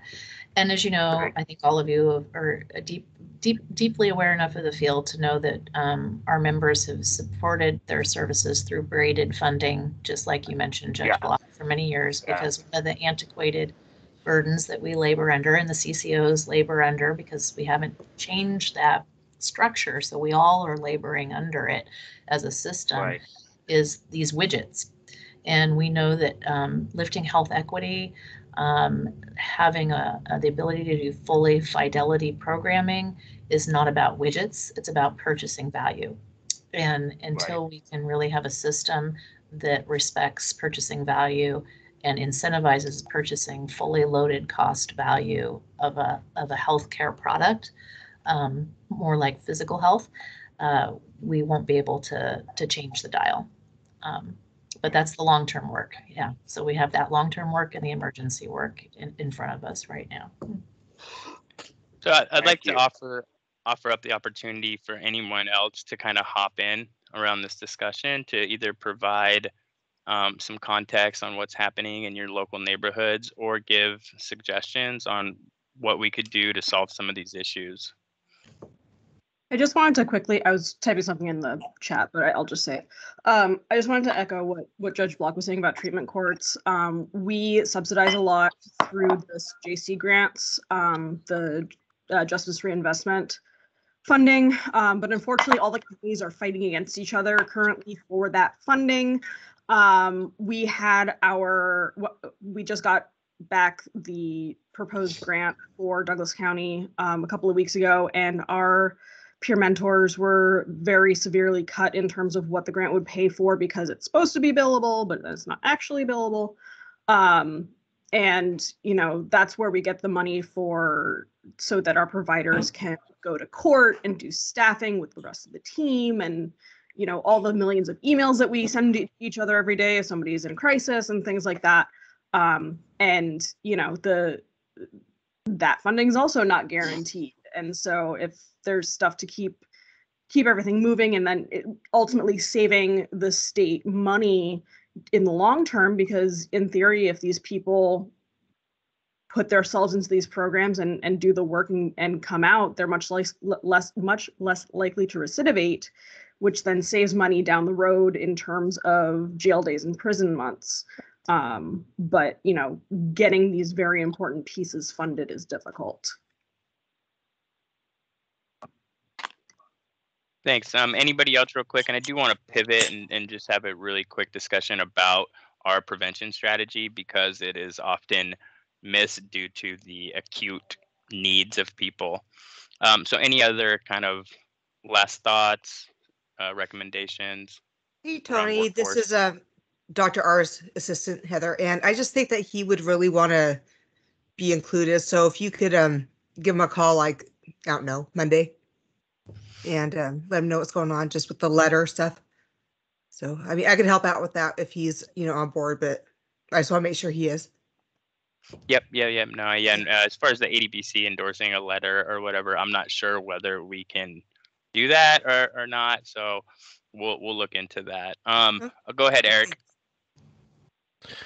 Yeah, I just have one last comment, and that is um, um, I have um, been talking to Representative Nosse um, regarding certification fees because certification um, can sometimes be a barrier. Fees now registering for um, substance use disorder counselor certification um, has few, if any, requirements to register as an intern. So new applicants could come into the field with with uh, very little under their belt and can get registered with MHACBO as an intern. So there really isn't any barriers there other than just simply the fee to pay for registration. So um, we have approached Representative Nosse and he's he's supportive and in agreement that that it would be great if um, if the state was able to fund the cost of these registrations and some of the certification fees. Um, so you guys, if you if you're going to put together a letter, you could include that as well, um, supporting you know covering the those costs for um, the the workforce. Yeah, thanks, Eric um, to be continued. A lot of great people working on this, and, and, and it is an immediate need. You know, i am feeling the burn right now of it not being able to find staff, losing staff. A lot of other programs are. It's it is a crisis, and I think we need our our governor to take up the mantle. And what we've seen with COVID is the state's ability to organize and address an issue um, really rapidly, right, across the spectrum of data collection, um, distribution of resources, etc. So I know we have the capacity to do it. We just need to put more energy and focus into it. Um, but I do want to pivot and just have a really quick discussion on our prevention strategy as a commission. Um, we know that we spend less than 1% of the state's substance use dollar on prevention. And, um, you know, in a lot of ways, uh, over the course of the last two years, we've actually regressed on our prevention efforts. I'm not an expert on prevention, I'm an expert on recovery. I know we have Tony Biglan here, but I did want to have a discussion with the commissioners around a strategy to increase resources to prevention programs, efforts, um, etc. So does anybody want to start off with giving some recommendations about how we might go about that from a strategic perspective? Can you hear me? Yeah, uh, Dr. Biglan. Oh, I'm shocked. I got a notice earlier that my microphone wasn't working. I, I think the first thing I would want to do is get clear on what OHA is doing in, by way of prevention. Um, we need a sort of audit of all the things that are happening and um, then take the strategic plan and, and move forward with it. I think we have we had talked about or have a subcommittee on prevention, but it has not been active. So maybe you the, the um, maybe the uh, you, you you should give us some orders and put us to work. Yeah, I, I, I will put you to work really quickly. Um, okay, so uh, those those are great suggestions. Thank you so much, Caroline Cruz. Go ahead. Well, I've gotten kicked off this uh, the system here three times, so I don't. I'm not really sure what's wrong with the. Uh, I know this is not Zoom. This is something else.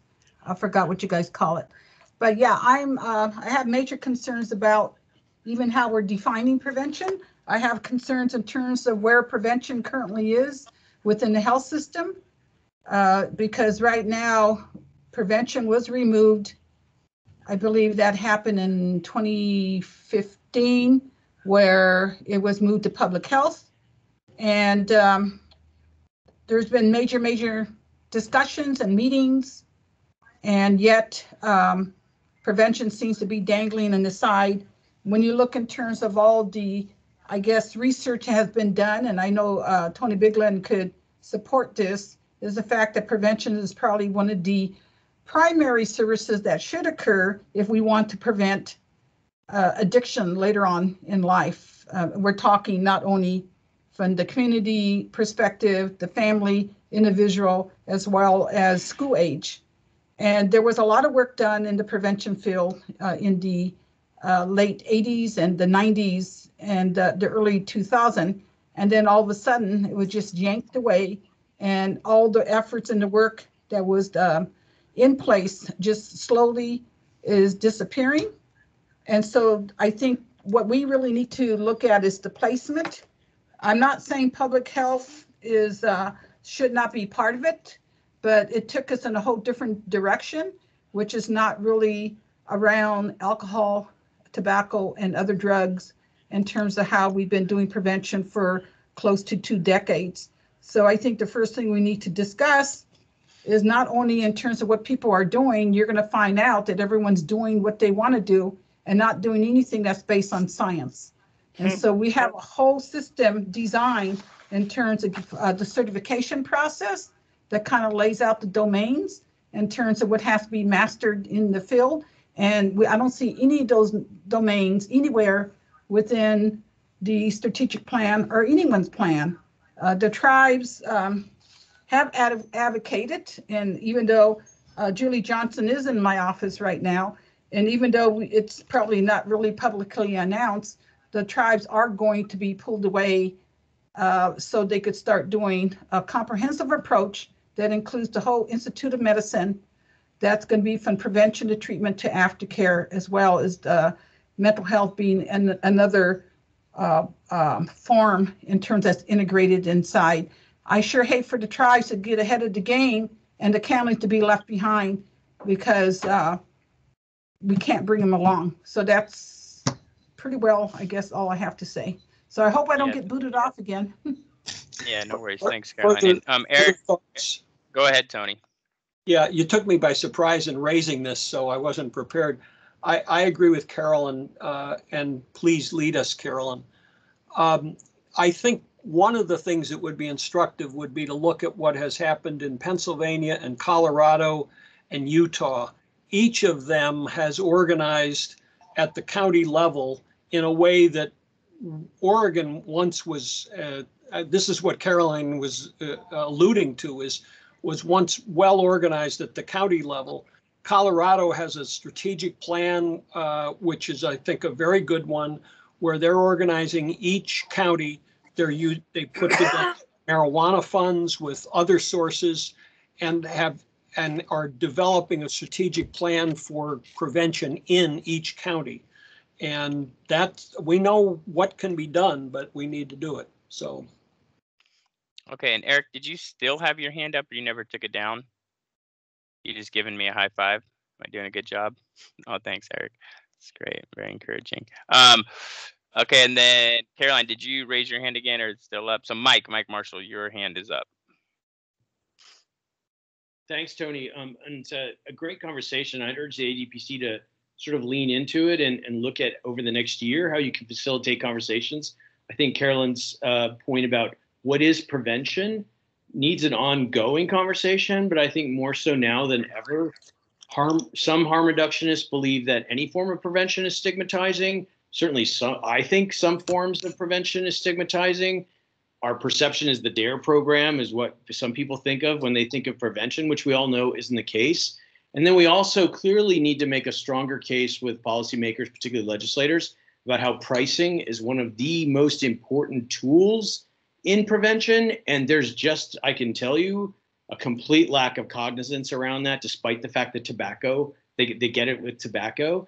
And we we and so I think this the ADPC is as you look for your your place in this space and to reinforce the plan, facilitating a um, a conversation between stakeholders over the next six months, even just like a set set of four or five conversations where we can hear what we each other has to say and we can not try to build some consensus over what the path forward is. I think that would be really useful because I don't see anyone else effectively convening that conversation um, Oregon Recovers would jump at the chance to do it, but we're also perceived as now being strong advocates for pricing as a prevention measure. And so we definitely would partner with you guys, but I think the ADPC could really play a role in that conversation. Stole the recommendations right out of my mouth, Mike. Okay, uh, Judge Block. Yeah, I, just wanted to um, agree with Mike and recall for the commission that during our um, our public uh, uh, affairs uh, committee meeting, we we kind of talked about this, and um, you know that that prevention had really become sort of the stepchild or the you know the orphan of the system, and we could really use our uh, you know, as Mike says, we, you know, it could be our space, or we could use our our positioning to really um, take up um, prevention, which has clearly been underfunded and underaddressed, um, and really, you know, spend the next year trying to raise the profile, you know, get some good di- discussion, and maybe uh, and maybe some substantive changes at least begun. Yeah, thanks, uh, Judge Block. Um, so here's my question: Is there anybody on here from OHA that's doing uh, prevention work? Thought somebody had made told me that there was somebody from OHA on that was actually Yes. doing some prevention work. So Julie uh, Johnson is in here. She's a tribal liaison. So what, what did you want to ask? Oh, I just just- wanted. Oh well, no. If there was just somebody from the Oregon Health Authority was doing uh, Yep. prevention work, or from the department, kind of just we're talking about them. So hey, what's up? You know, do you want to chime So, in? can you, know. Can't quite. Yeah, I can. With you, okay. Okay. You Hi, everybody. Can you hear me okay? Yeah. Good to see you, Tony and Mike and uh, Eric, you guys. Um, my name is Julie Johnson. I'm the Tribal Affairs Director for the Oregon Health Authority. I sit on the leadership team uh, with uh, Pat and Steve and Margie and Rachel. Um, so we are doing substance abuse prevention, as Caroline mentioned, with the nine tribes of Oregon. It used to be an addictions and mental health division, then went to public health division, and is moving back to health systems division. And so, you know, substance abuse prevention in tribal communities is the base of our healthy community model. And so we do do it a little bit differently than statewide. I agree, you know, pricing is definitely one area, but um, our communities, our families, our youth, our elders is really the basis of our prevention program. So I used to be the substance abuse prevention coordinator for the Burns Paiute tribe for 14 years. And so I understand the science of prevention and, and the way things are done in tribal communities. And now I support that at the, at the state level. Yeah, hey, thank you so much. So here's here's my question, you guys. If we were to convene a subcommittee of the ADPC or some other vehicle to have these discussions to get our prevention efforts on track with other efforts that are happening, like the infusion of the ARPA money and all that kind of stuff into the acute care system and Measure 110 distributing funds into the recovery system, who are those individuals who need to have that conversation to align the pieces together. I think it's our behavioral health system, Steve Allen, uh, Margie Stanton, our Director of Health Systems Division, Rachel Banks, our Director of Public Health Division, um, the leadership, uh, Tim Noe is the Center Administrator currently right now where the prevention program is housed in the Health Promotion Chronic Disease Prevention section. Uh, Tatiana Dierwechter is the manager there. Um, that's where all the county system, uh, substance abuse prevention sits right now. Okay, uh, thank you for that. Anybody else? Tony, I see you have your hand raised again. Yeah, I, the other thing I would say is, you know, prevention is, you, you're reaching people who don't have any substance use problems. If you're going to do prevention, you're reaching children and adolescents before there are problems.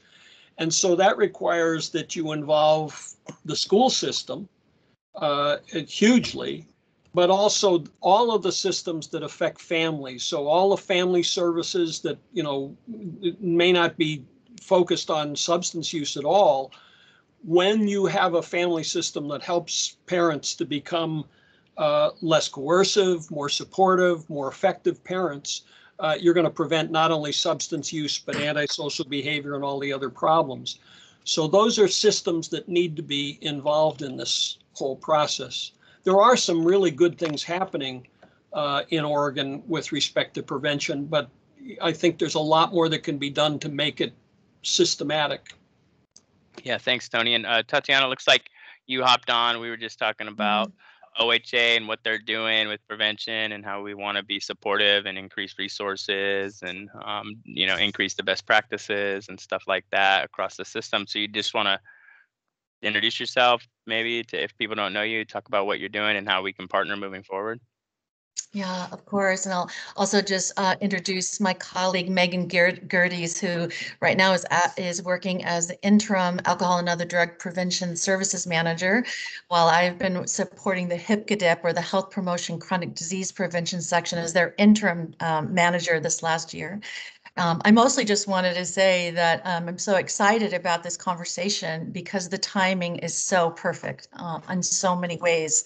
Um, I wanted to share that just a few weeks ago, uh, I helped to support and staff a meeting between Steve Allen and Rachel Banks and Tim Noyes, some of the the, um, the executive leaders on the public health side that Julie just mentioned. Very high level conversation, but really to um, begin um, thinking about what what are the new emerging opportunities to strengthen at an operations level. Um, we have great coordination and collaboration and partnerships at the kind of program level, but at that executive level, where are kind of the structural opportunities to better collaborate and link our work between behavioral health and public health to really support this comprehensive continuum of care from primary prevention, uh, treatment, recovery, and what I call community belonging and, and um, connectedness at the community level. Um, that was a very positive start of a conversation with outcomes of um, wanting to review our current structures and where do we connect and internet interconnect and to begin establishing a more formal process for doing that um, as we move into the new year. I also would just say the time is so perfect because as I'm sure Dr. Richardson and the staff have shared many times over the last few years, you know, our new state health improvement plan, Healthier Together Oregon, is very closely crosswalked with the Alcohol Drug Policy Commission strategic plan in that behavioral health space. But the other piece that I get excited about on the public health side is um, how upstream the rest of the, the Healthier Together Oregon is with a focus on trauma, adverse childhood experiences, systemic racism, um, and access to preventative clinical services.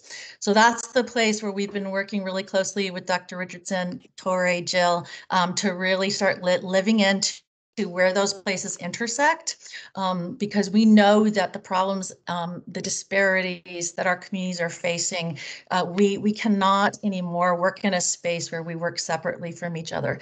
These inequities are so deep and have become so exasperated and revealed um, as a result of COVID. We really need to be um, creating a new, new approach and a new structure for how we work together.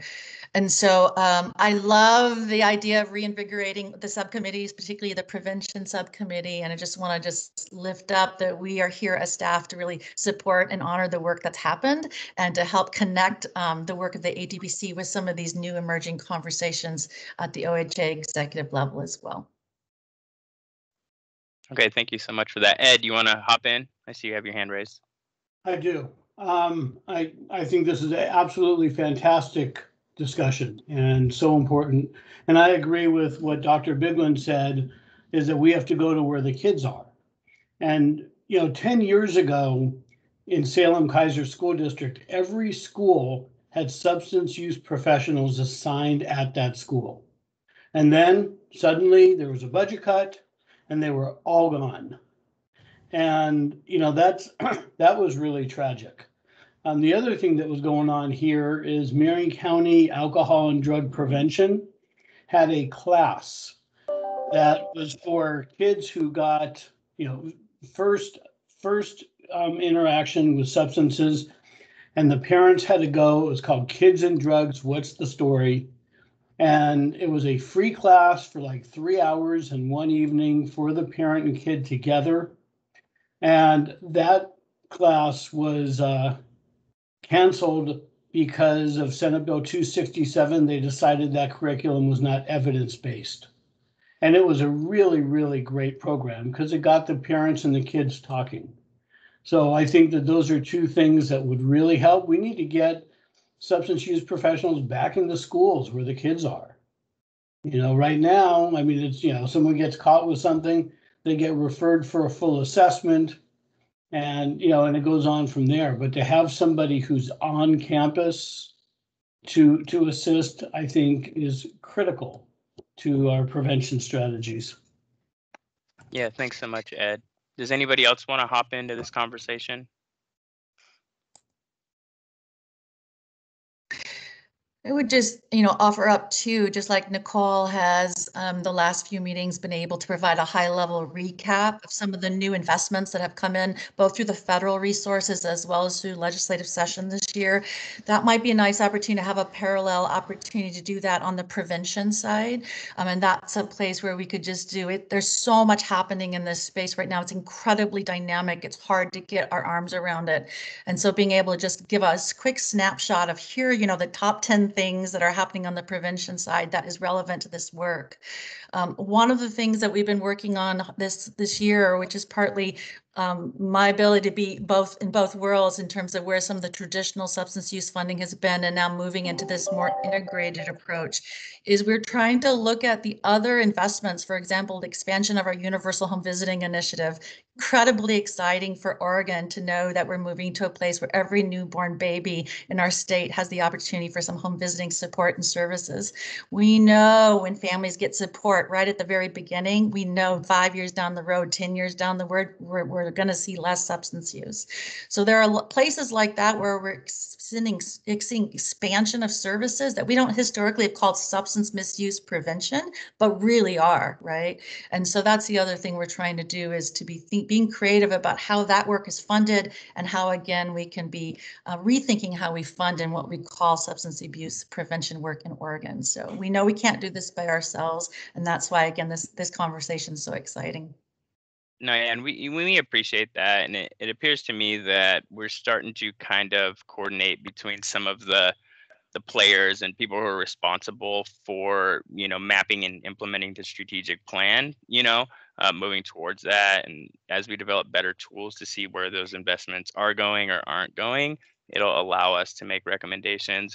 As far as this conversation goes, um, I'm really encouraged by it because there's so many people who are excited. You know. Uh, so what I think we could do is develop some sort of uh, mechanism for continuing this conversation and moving it forward. And uh, Tatiana, if you could come and give us uh, monthly updates on where we stand um, as far as moving towards the goals and objectives of the strategic plan. Um, I think that would be really great. Are the other commissioners in agreement with that? And uh, uh, Dr. Biglan, would you be interested in participating in a subcommittee with other key stakeholders? I, would be happy to participate. I the irony is, I was just uh, on a Zoom call with the leadership of Utah. They were asking me to come help them there. I'm happy to work in Oregon. I prefer to work in Oregon. So yes. Okay. Tony, just real quick, you know, we also have a monthly staff meeting where we meet with Dr. Richardson and his staff with a, a representative from everyone who has something to do with um, the strategic plan. And so at our monthly meeting next, Tori, Jill, maybe this is an opportunity for us to debrief and then maybe come back to Tony and Dr. Richardson with some some more kind of specifics around how we might operationalize some of these ideas um, going forward. Tatiana, and this is Heather. I will send you um, Mr. Biglan's information. So. Okay. Okay, thanks. Thank okay, go all. ahead, Caroline. So, Tiana, is the tribes represented at those meetings? Yeah, Ma Michael has attends every month uh, Michael as, as, a representative liaison. Which Michael? From Julie's team. Mm -hmm. Michael Stickler? Michael Stickler? Am yeah. I pronouncing his name? Yeah. Yeah, I'm sorry. I keep getting kicked off this this system. So thank you, whoever's letting me back in. I think this is my fourth time. So I, I might have uh, lost some of the conversation. Oh okay. Okay. Well, does anybody else have any uh, recommendations around the prevention conversation? Well, I, I there's there's a I, I want to talk to Dr. Richardson about it and, but should there be a subcommittee on this? I, I, I mean, what, what you might do is assign a subcommittee to under, to better understand and, and inform the commission about what the state of prevention is and possibly make recommendations for strengthening it. Yeah, no, that, that's a good that's a good question. Maybe some of the dots aren't being connected. Um, is what I'm seeing. But we can we can have that discussion. Me and me and Dr. Richardson um, in our weekly meetings or our public affairs meetings, and come back next uh, commission meeting, and we will definitely keep you in the loop, Tony, around this. You've been around for a long time, and uh, come up with some sort of proposal that you know better actualizes the group's desire to rapidly increase efforts in prevention. So go, ahead, Caroline. Well, I'm not really sure in terms of how the subcommittee is being selected, but uh, uh, I work for the state of Oregon from 1987 to, when did I leave? 2009. And I pretty well oversaw prevention at the state level. And so some of the, the, all the science and everything that we developed has that historical history.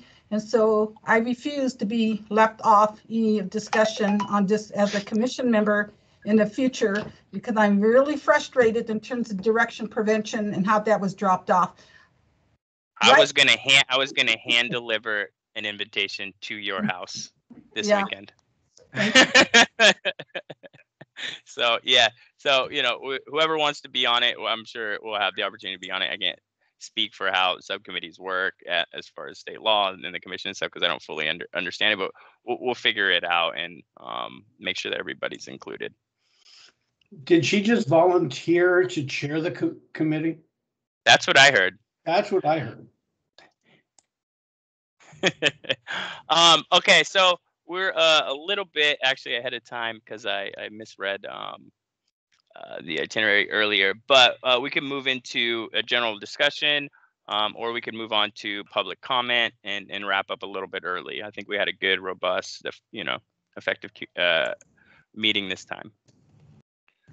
So is there any public comment? Any of our legislative friends want to say anything? Anybody out in the public sphere want to chime in?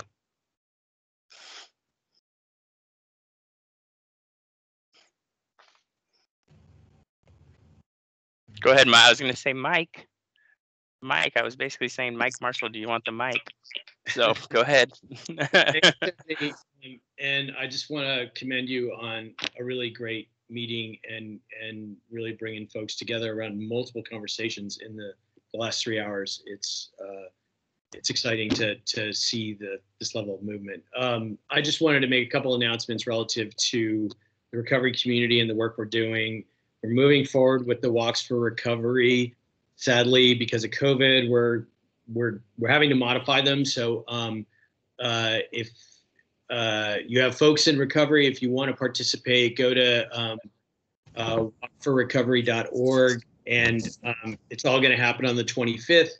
There'll be a virtual kickoff, but we will have folks um, still walking, and we're going to try and draw focus on the workforce issue and the overdose issues, and make them probably more less community based and more policy based than we would have liked this year. But um, uh, and we're having everyone walk in teams of three as opposed to teams of 100 where it becomes a super spreader event. And then our recovery community summit is going to happen in October. It's going to be in person. You will be required to be vaccinated and um, uh, have a rapid test upon arrival. It's the weekend of the 22nd to the 24th, right after OCBH's conference in Sunriver, which I'm also hoping is in person. Um, we have to figure out how to be a community and and strengthen this work because COVID's not going away, obviously. So um, I just wanted to put that out there, and we're gonna be sending out an RFP shortly. If you're not on our mailing list, then let me know because we want folks to be putting together panels and workshops and speakers. It'll probably be very Oregon centric. Um, we're not gonna be able to bring people in, obviously.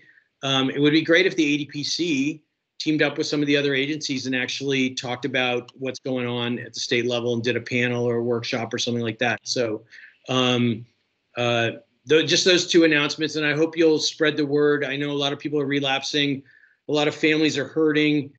Both these events are opportunities to both heal and to um, and to learn. So um, uh, thanks again, everyone, for all your great work. Yeah, thanks, Mike, and thanks for doing all that community-based work. Uh, Heather, you want to hop in real quick? Yeah, I was just going to say thank you, Mike, for the soft intro on the OCBH conference. And, and uh, I will make sure that uh, I believe Tony gets those notices and several of you get those notices. And that is an event that's open to all um, of our behavioral health partners. Um, it is a conference that's focused on leadership, and we will be having some super exciting uh, presentations. It is in person. We will modify our COVID protection as necessary as things change over time by the end of October.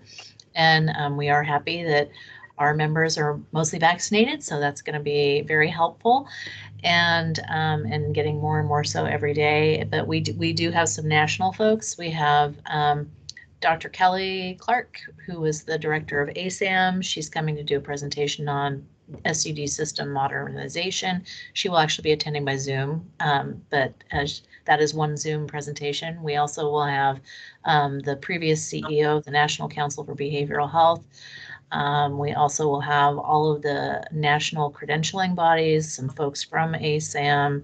Um, of course, we will have our panel of OHA friends. We will have um, Eric Hunter from CareOregon and many other uh, CCOs represented in our CCO panel. And we will do being um, some specific breakouts for substance use disorder provider sector system issues and also for the mental health residential uh, system. So please take a look. We'd love to have you there um, to meet and greet with your community of behavioral health providers across the state of Oregon. Um, and I think we'll all be excited to see each other with our masks on. Most likely. Okay. So thank you. Uh, th- yeah, thanks, Heather. And um, Caroline, are you still there? Can you still hear me? Would you be able to give us a quick update on Measure 110 and rules and stuff like that? So are you talking to me? Who are you talking to? Oh, Yes, I'm talking to you. oh, oh, I, I didn't see my name on the agenda. Did, did someone not? No, no, no. Oh. I was just, I was just wondering. I just since we had a little bit extra time, if you had any Okay, updates on oh, Measure yeah, well, stuff. M- Morgan is on too, is she not? Oh, Morgan too. Yeah, I totally forgot. Yeah. I just couldn't, I couldn't see her face okay. in the photo. So Morgan, you can hop in too. I'm here. I'm Yeah, here. I, yeah, I do know what we're working on is the Oregon administration rule. And so we've been spending a lot of time on that in order to um, direct in terms of the, um, what they call the BHRNs, which is, now you're gonna have to help me, Morgan, behavioral Health Resource Network. Resource Network. Yeah, so the Bill 755, I think they were called addictions uh, centers or recovery centers. And so we have to get that change in the uh, 755 and redirect that. And so we're trying to define some, some of the uh, language uh, within the, um, the Oregon administration rule. I don't think we were always in agreement, but I think we're far enough with the, uh, the Oregon administration rule that we could kind of move forward because we could always, these are temporary rules. So it'll give us a little bit more opportunity, but we're trying to shape how we're going to be directing uh, funds uh, because uh, according to our time frame, we have to have this all in place. So when we do distribute uh, dollars, which is estimated, I think Morgan, what, 300 million, I think, that's kind of the amount that they're throwing around and that we need to make sure that we follow the bill and that we put these BHRN centers uh, throughout the state. And so um, folks could have access to care immediately versus having to wait uh, sometimes for months in order to get services. And so we're not talking about probably intensive treatment in the beginning. We're talking about at least getting people in the door faster so we could actually, they could get the attention that's needed when they need it instead of uh, them like waiting a month or two. Then they say, well, you know what, you guys don't technically care about me and my issues. And so as the longer we know, and I think Eric could support me on this, is the fact that when you're ready for treatment, you're ready right then and there. If you're given an opportunity to wait too long, then you convince yourself you don't really need it. And so the, the intent, even though we know this is uh, the decriminalization of the, um, of, I guess, um, di- different laws have to be adjusted. So when you're picked up for a Hello, certain amount. Steve. How of- you doing? of- Hey, Heather. I'm Heather, good. How about you? I'm good. you gotta mute, Heather. penalty for going on vacation. Heather, Yeah. Heather, you want to mute? So, Oh, there she goes. Anyway, so uh, uh, the bill didn't have to be changed, and there's different amounts in terms of what qualifies in terms of getting a citation. And so if you still go above those amounts, you're still going to be served um, with like a misdemeanor. And there are still some felony charges that you could face for certain certain, um, I guess, offenses. But this was primarily for those, I guess, who are probably should be ma- many directed more to low barrier treatment, treatment, or we could do some of the work around harm reduction for a segment of the population who has no business being drug into the uh, criminal, I guess, court system uh, because they're not really, probably, I don't know, Morgan, help me with this word. They're not really a danger to society.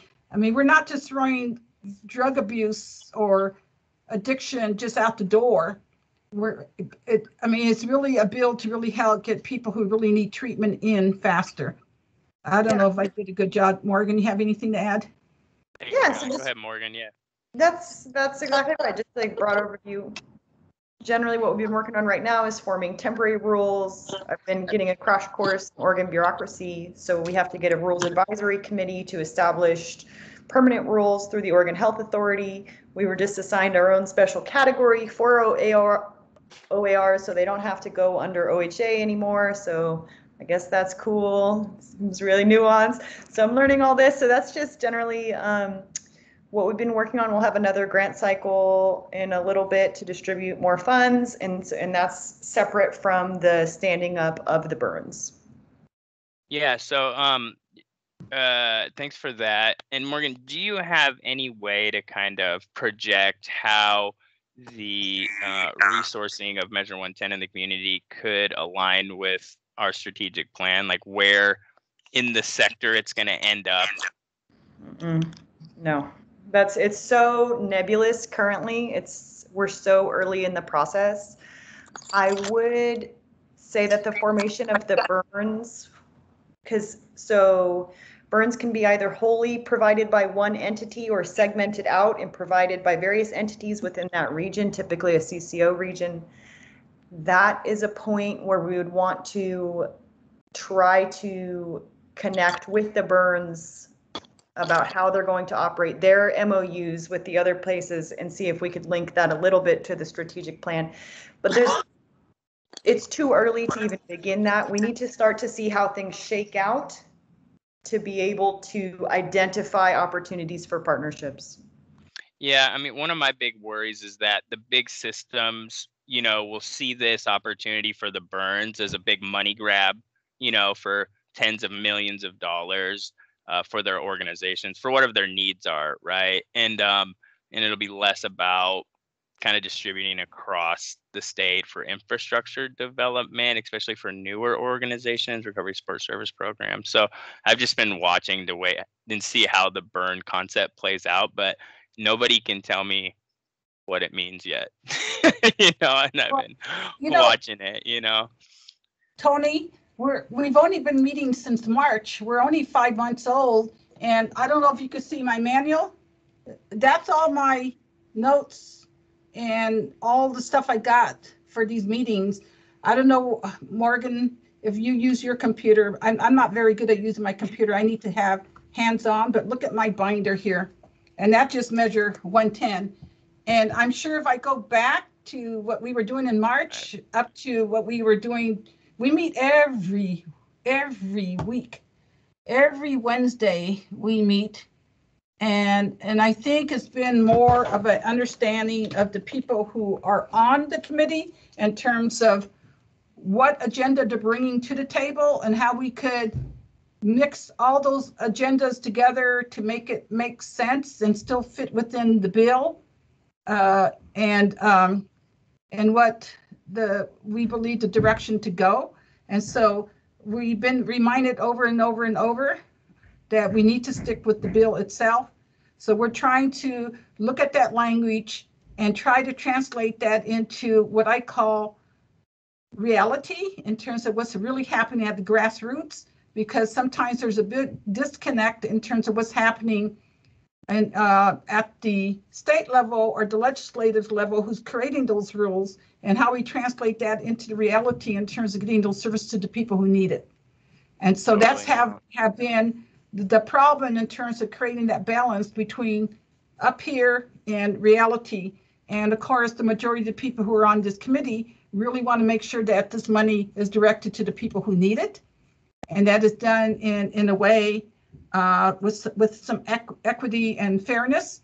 Uh, but also, we don't want to set up programs who are not ready to take on um, uh, some of the, um, I think, um, approaches and then fail.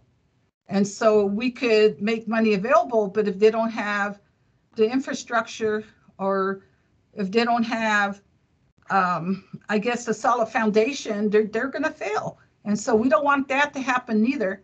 And so, so it's been, it's, we're only five months old. And so I, I have to kind of look back in terms of where we were and where we're at.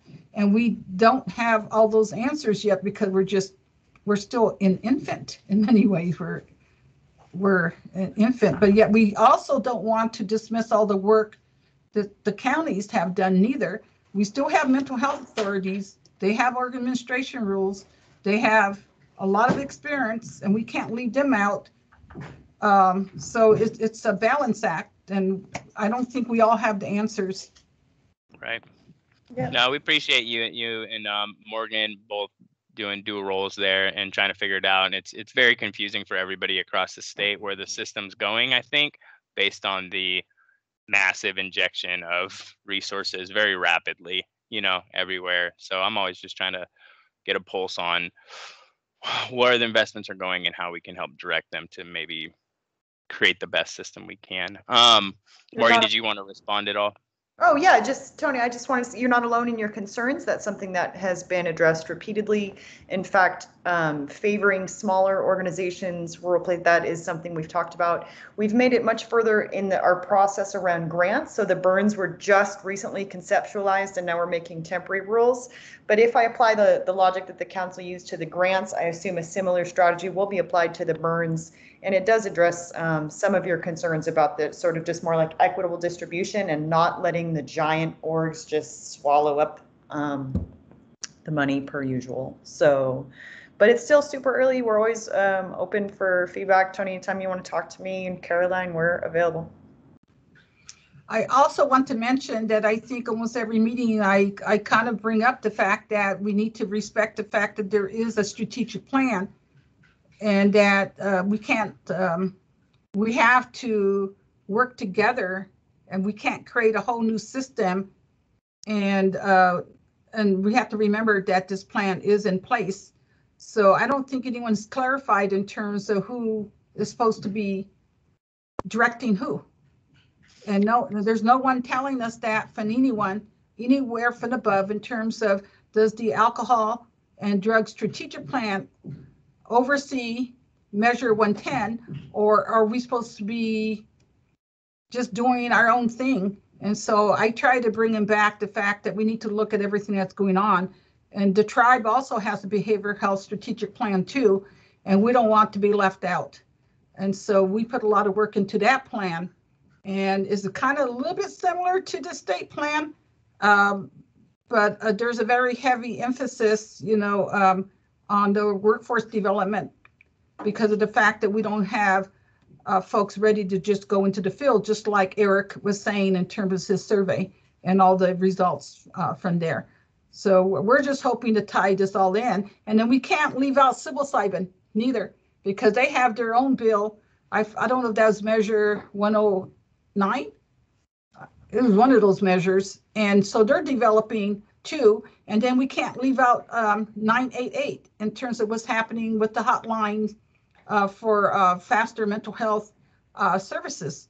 And so if we don't put those all together and, and we start working against each other and we don't get ourselves educated to see they all exist, then I think we're going to fail. And with all these new dollars that are coming out, uh, if we don't use that effectively, um, I, we're going to fail.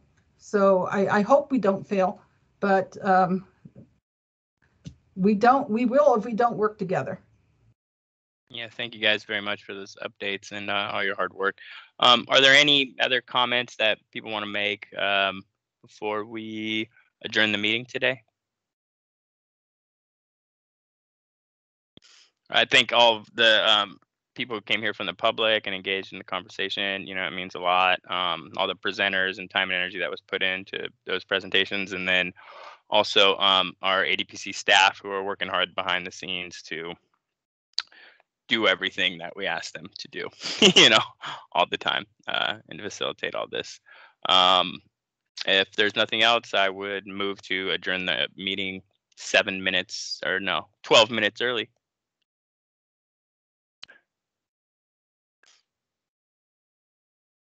Thank you. Thank you, guys.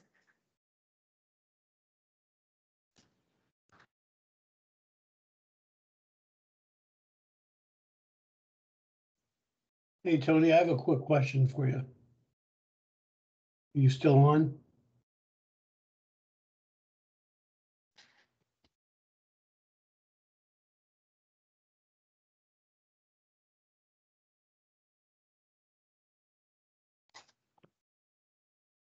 Tony?